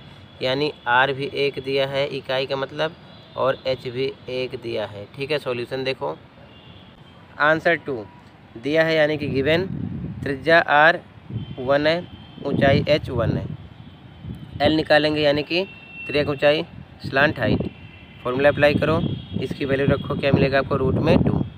हमें निकालना क्या है? शंकु का वक्र पृष्ठीय क्षेत्रफल C S C of cone formula होता है पाई आर एल इसकी वैल्यू रखो पाई पे पाई आर पर रख सकते हैं वन। एल आप निकाल चुके हो रूट में टू। वैल्यू रखो तो आंसर मिलेगा root two pi. C option right हो जाएगा। अगला question. Question number third. Find the total surface area of a solid hemisphere of radius two centimetre use pi equal to three point one four दो centimetre त्रिज्या वाले अर्धगोले का कुल पृष्ठीय क्षेत्रफल ज्ञात कीजिए। पाई की जगह तीन दशमलव एक चार का प्रयोग करना है। Solution answer number third R पता है? कितना दिया है? Two centimetre T S C of hemisphere English में लिखो, हिंदी में अर्धगोले का कुल पृष्ठीय क्षेत्रफल। फॉर्मूला होता है three pi R square three पर थ्री पाई की value three point one four रखना है। आर पर टू डबल टाइम रखो मल्टीप्लाई करो thirty seven point six eight centimetre square answer आ जाएगा। आंसर नंबर थर्ड में। अगला question question number four if the height and slant height of a cone are twenty one centimetre and twenty eight centimetre respectively find its volume यदि एक शंकु की ऊंचाई और त्रिक ऊंचाई क्रमशः इक्कीस सेंटीमीटर और अट्ठाईस सेंटीमीटर है तो उसका आयतन ज्ञात कीजिए। सॉल्यूशन देखो। आंसर नंबर फोर ऊंचाई एच पता है त्रिक ऊंचाई एल पता है। तो पहले हम आर निकालेंगे। फॉर्मूला होता है रूट में L square minus H square इसकी वैल्यू रखो। एल पर अट्ठाईस एच पर इक्कीस का स्क्वायर ठीक है सॉल्व करने पर आर मिलेगा सेवन रूट सेवन फिर निकालना है आयतन, यानी कि वॉल्यूम इसका फॉर्मूला अप्लाई करो। एक बटे तीन pi R square H value रखो। एक बटे तीन पर सेम पाई के मान बाईस बटे सात। आर पर seven root seven double time H पर आपको ट्वेंटी वन रखना है। आगे सोल्व करो। सेवन से सेवन कट हो जाएगा। थ्री वन जा थ्री सेवन जा ट्वेंटी वन बचेगा twenty two into seven into seven और ये जो रूट है ना, इसमें से भी एक सेवन इक्वल होके बाहर निकल आएगा। तो इन सब का आपस में मल्टीप्लाई करोगे तो आपको आंसर मिलेगा seven thousand five hundred forty six centimetre cube ठीक है? आंसर फोर हो जाएगा। अगला question question number five find the volume of a sphere whose surface area is twenty eight square centimetre एक गोले का आयतन ज्ञान कीजिए, जिसका पृष्ठीय क्षेत्रफल अट्ठाईस वर्ग सेंटीमीटर है। सॉल्यूशन आंसर फाइव गोले का पृष्ठीय क्षेत्रफल यानी कि सरफेस एरिया ऑफ़ स्फेयर दिया ट्वेंटी एट फॉर्मूला इधर अप्लाई करो। Four pi R square equal to twenty eight के तो R square four pi divide में हो जाएगा। फोर से कट करोगे। फोर वन जा फोर सेवन जा ट्वेंटी एट यानी कि सेवन अपॉन में पाई मिलेगा। स्क्वायर इधर से हटाओगे रूट लग जाएगा तो इस प्रकार लिख सकते हैं। अब यहाँ पर देखो ध्यान से, ये सेवन अपॉन में रूट में ट्वेंटी टू कैसे आया? ये रूट में सेवन है और पाई का मान बाईस बटे सात रख सकते हैं। आगे सोल्व करोगे तो ऊपर रूट में सेवन रहेगा। ये नंबर पलट जाएगा, सेवन ऊपर हो जाएगा, ट्वेंटी टू नीचे तो ऊपर पेयर बन जाएगा, सेवन निकलेगा, नीचे रूट ट्वेंटी टू ऐसे लिख देंगे। तो यहाँ पर डायरेक्ट लिखा गया है। ठीक है? आगे देखो ध्यान से तो आर आप ध्यान रखना। आयतन का फॉर्मूला अप्लाई करो अब। अब इसके बाद में आगे आयतन का फॉर्मूला अप्लाई करो, यानी वॉल्यूम का four by three pi R cube same लिखो फोर बाई थ्री पाई पर ट्वेंटी टू अपॉन में सेवन आर पर सेवन अपॉन में root twenty two triple time ठीक है? अब देखो सेवन सेवन कट हो गया, बचा फोर अपॉन में three twenty two seven seven का मल्टीप्लाई करो फोर्टी नाइन नीचे इन दोनों का पेयर बन जाएगा तो इसमें से एक बाहर निकल आएगा तो हम लिख सकते हैं ट्वेंटी टू और इसका पेयर नहीं बनेगा तो ऐसे लिख देंगे। अब आगे देखोगे ट्वेंटी टू से ट्वेंटी टू कट जाएगा। फोर अपॉन थ्री सेम लिखा, फोर्टी नाइन अपॉन में रूट ट्वेंटी टू। हर का परिमीकरण करेंगे क्योंकि रूट में नंबर है तो ऊपर भी रूट ट्वेंटी टू, नीचे भी रूट ट्वेंटी टू से मल्टीप्लाई करेंगे। ठीक है, ऊपर आ जाएगा फोर, फोर्टी नाइन रूट में ट्वेंटी टू और नीचे थ्री इन दोनों का पेयर बन जाएगा, ट्वेंटी टू निकल आएगा। तो ऊपर मल्टीप्लाई करो फोर्टी नाइन का फोर से वन नाइन्टी सिक्स रूट में ट्वेंटी टू सेम लिखो, और नीचे थ्री का ट्वेंटी टू से सिक्सटी सिक्स यहीं पर रोक दो सेंटीमीटर क्यूब आंसर हो जाएगा। ठीक है आंसर नंबर कौन सा हो जाएगा आपका? फाइव ठीक है? अगला क्वेश्चन देखो। Question number six two cones have their height in the ratio four ratio five and the radii of their bases in the ratio five ratio two find the ratio of their volumes दो शंकुओं की ऊंचाइयों का अनुपात चार, अनुपात पाँच है। उनके आधार की त्रिज्याओं का अनुपात पाँच, अनुपात दो है। शंकुओं के आयतन का अनुपात ज्ञात कीजिए। सॉल्यूशन? आंसर सिक्स, माना ऊंचाई, let height, H one, four X, H two, five X, त्रिज्याएँ मान लेंगे radii, R one, five X, R two two X, ठीक है? तो रेशियो निकालने यानी कि अनुपात, हिंदी वाले लिखेंगे पहले शंकु का आयतन बटे दूसरे शंकु का आयतन। इंग्लिश वाले वॉल्यूम ऑफ़ फ़र्स्ट कौन अपॉन में वॉल्यूम ऑफ़ सेकेंड कौन? फॉर्मूला अप्लाई करोगे डायरेक्ट वैल्यू रखो, एक बटे तीन पाई। ऊपर, पहले के लिए R one five X five X double time और एच वन फोर एक्स रखोगे। नीचे के लिए एक बटे तीन पाई सेम आर पर two X two X double time और एच फाइव एक्स अब आगे देखो, ध्यान से यहाँ पर आपको समझना है, काटने पीटने में गलती होगी, ठीक है? तो यहाँ पर देखो, एक बटे तीन पाई से एक बटे तीन पाई कट हो गया। एक्स से एक्स एक्स से एक्स एक्स से एक्स फाइव से फाइव कट हो गया टू टू जा फोर से फोर कट हो गया. ऊपर फाइव बचा, नीचे वन बचा. यानी फाइव रेशियो वन आपको आंसर मिलेगा क्वेश्चन नंबर सिक्स में. क्लियर है? अगला question question number seven two spheres have their radii in the ratio one ratio two find the ratio of their surface areas दो गोलों की त्रिज्याओं का अनुपात एक, अनुपात दो है गोलों के. पृष्ठीय क्षेत्रफल का अनुपात ज्ञात कीजिए। सॉल्यूशन देखो लास्ट क्वेश्चन है ये।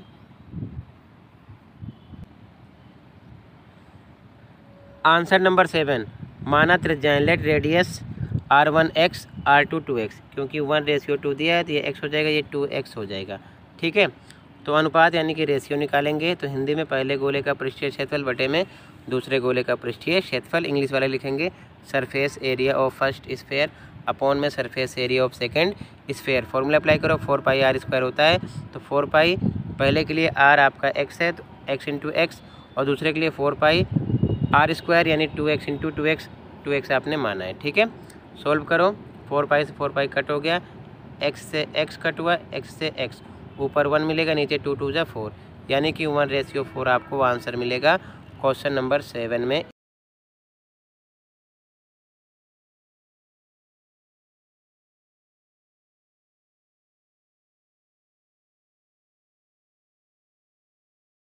Question number one and two are multiple choice questions प्रश्न संख्या एक एवं दो बहुविकल्पीय प्रश्न हैं।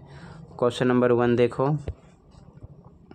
Question number one the difference in the highest and the lowest value of data is called आंकड़ों के अधिकतम और न्यूनतम मान में अंतर कहलाता है तो उसे बोलते हैं परिसर यानी कि रेंज बी ऑप्शन राइट हो जाएगा फ़र्स्ट में, ठीक है?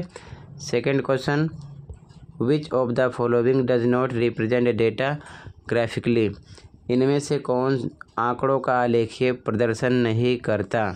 तो यहाँ पर आपका डी ऑप्शन राइट हो जाएगा वर्ग माप यानी क्लास साइज़ बाकी आयत चित्र दंडालेख, बारंबारता, बहुभुज तीनों करते हैं, ठीक है? तो कह रहा है कि नहीं करता तो आपका ऑप्शन राइट होगा डी वर्ग माप यानी कि क्लास साइज़ ठीक है? क्वेश्चन थर्ड पे आ जाओ। क्वेश्चन नंबर थर्ड पच्चीस छात्रों का भार नीचे दिया गया है। The weight of twenty five student is given below निम्नलिखित बारंबारता तालिका को पूरा कीजिए। Complete the following frequency table सबसे पहले यहाँ पर भार यानी वेट इधर फ्रीक्वेंसी यानी कि बारंबारता है। तो सबसे पहले देखो, पैंतीस कितनी बार है? ठीक है ना? तो ध्यान से देखो, यहाँ पर काउंट करोगे पैंतीस।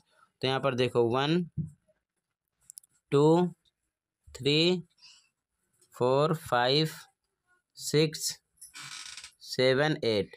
तो यहाँ पर लिखोगे एट। इसी प्रकार थर्टी सिक्स कितने टाइम है? यहाँ पर काउंट कर लेना। थर्टी सिक्स आपका है बच्चों, one, two, three, four, five, six. Six लिखेंगे। इसी प्रकार थर्टी सेवन देखो कितनी बार है? तो ये एट है, ये सिक्स है, थर्टी सेवन कितनी बार है? ध्यान से देखो, one, two, three, four. Four time है। थर्टी एट देखो कितनी बार है? एट, सिक्स, फोर फिल कर दो। थर्टी एट कितनी बार है? Thirty eight, one, two, three, four, five, six, seven. Seven time है, ठीक है? तो ध्यान से देखो, आप ऐसे ही फिल कर देना। थर्टी फाइव, एट टाइम है। थर्टी सिक्स सिक्स टाइम है। थर्टी सेवन, फोर टाइम है। थर्टी एट, सेवन टाइम है। टोटल स्टूडेंट है ट्वेंटी फाइव। अगर इनको आप प्लस करोगे, eight plus six plus four plus seven तो आपको मिलेगा ट्वेंटी फाइव, जो कि क्या होगा आपका? योग यानी कि सम होगा। लेकिन हमें योग यानी कि सम लिखना नहीं है, केवल ये टेबल कंप्लीट करना है। ठीक है मतलब कि आपको टोटल इतना ही फिल करना है यही आपका आंसर हो जाएगा। ठीक है, अगला क्वेश्चन देखो। Question number four. Given below are the marks secured by different students in a classroom out of hundred नीचे एक कक्षा के विभिन्न छात्रों द्वारा सौ में से प्राप्त अंक दिए गए हैं। विद्यार्थी यानी कि स्टूडेंट अंक यानी कि marks A B C D E F सत्तर, चालीस, पैंसठ, पच्चीस, अस्सी, पैंतीस दिया गया है। ठीक है?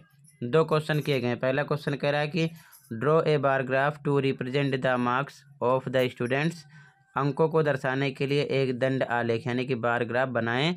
दूसरा क्वेश्चन है which student secure the maximum marks किस विद्यार्थी ने सबसे अधिक अंक प्राप्त किए? तो सबसे पहले हम बार ग्राफ बनाएँगे, ठीक है? ध्यान से देखो सॉल्यूशन आंसर नंबर फोर का फ़र्स्ट ये आपका एक्स एक्सिस है, यानी एक्स अक्ष, और ये वाई एक्सिस है, यानी कि वाई अक्ष, ठीक है? इसे आपको ग्राफ पेपर पर बनाना है। स्केल का इस्तेमाल करना है, पेंसिल का इस्तेमाल करना है, बिल्कुल सीधा बनाना है। मैंने हाथ से बनाया, टेढ़ा मेढ़ा है, ये चीज़ ध्यान में रखना, ठीक है?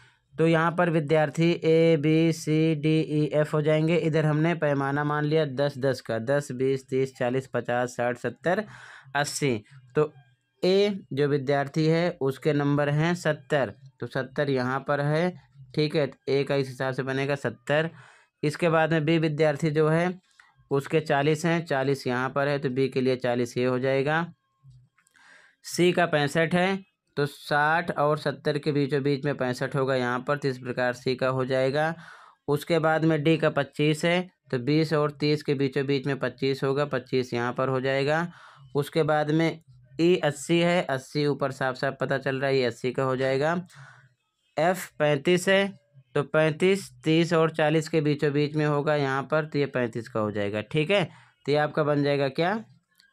दंड आलेख, यानी कि बार ग्राफ ये चीज़ ध्यान में रखना, ऐसे ही आपको बना लेना है, ठीक है? ये आपका आंसर हो जाएगा फ़र्स्ट। अब सेकंड क्वेश्चन पे कह रहा है कि किस विद्यार्थी ने सबसे अधिक अंक प्राप्त किए? तो ध्यान से देखो, सबसे ज़्यादा अंक। अंक इधर हैं, सबसे हाईएस्ट क्या है? ये है, ठीक है ना? तो ई आंसर लिखोगे ए विद्यार्थी। तो सेकंड के आंसर में लिखोगे ई ठीक है? ये फ़र्स्ट का आंसर हो जाएगा और ये सेकंड का आंसर हो जाएगा। अगर क्वेश्चन में पूछता सबसे कम किसने प्राप्त किया? तो डी वाला सबसे कम प्राप्त कर रहा है। ठीक है? ये चीज़ ध्यान में रखना। ठीक है? लेकिन सबसे ज़्यादा पूछा है तो यहाँ पर आंसर आपका आएगा ई ठीक है? अगला क्वेश्चन देखो। कहीं पर डाउट होगा तो बता देना। Question number five draw a histogram for the following data निम्नलिखित आंकड़ों के लिए आयत चित्र बनाएँ। कक्षा यानी क्लास बारम्बारता यानी फ्रीक्वेंसी दी गई है, ठीक है? तो हम कक्षा के लिए पैमाना लेंगे ज़ीरो, दस, बीस, तीस, चालीस, पचास। और बारम्बारता के लिए भी पैमाना मान लेंगे दस का। दस, बीस, तीस, चालीस, पचास हाईएस्ट नंबर है पैंसठ तो हम सत्तर तक लिखेंगे, ठीक है? सॉल्यूशन देखो। आंसर नंबर फाइव एक्स अक्ष पर क्लास यानी कि कक्षा हो जाएगी। ज़ीरो, दस, बीस, तीस, चालीस, पचास। वाई अक्ष पर बारम्बारता यानी कि फ्रीक्वेंसी हो जाएगी। ज़ीरो, दस, बीस, तीस, चालीस, पचास, साठ, सत्तर। दस के गैप के हिसाब से पैमाना ले लेंगे, ठीक है? अब ध्यान से देखो। ज़ीरो से दस के बीच में फ्रीक्वेंसी है तीस। तो तीस यहाँ पर है, ज़ीरो से दस के बीच में तीस यहाँ पर हो जाएगा। उसके बाद में दस से बीस पर पैंसठ है। तो पैंसठ साठ और सत्तर के बीच में होगा यहाँ पर, ठीक है ना, बीचों बीच में। ठीक है, ये हो जाएगा पैंसठ। फिर बीस से तीस पर पैंतालीस है, पैंतालीस, चालीस और पचास के बीचों बीच में होगा, यहाँ पर होगा तो ये पैंतालीस हो जाएगा। तीस से चालीस पर तीस है, तीस यहाँ पर है, तीस ये हो जाएगा। चालीस से पचास पर दस है तो दस यहाँ पर है, ये हो जाएगा। तो मतलब कि इस प्रकार बनेगा ये तीस है, ये आपका पैंसठ है, ये पैंतालीस है, ये आपका तीस है, और ये दस है। ठीक है? तो इस प्रकार से ये आयत चित्र यानी कि हिस्टोग्राम बन जाएगा। इसी के साथ ये असेसमेंट कंप्लीट है। टोटल फाइव क्वेश्चन थे। फाइव आंसर कंप्लीट हो गए हैं। कहीं पर कोई डाउट है कमेंट कर सकते हो। आप पेंसिल स्केल और ग्राफ पेपर का इस्तेमाल करना ताकि सीधा और साफ़ बने। आप इसे कलर भी कर सकते हो अलग अलग ठीक है ना? ताकि ये देखने में अच्छा लगे। मिलते हैं अगली वीडियो में। Thank you for watching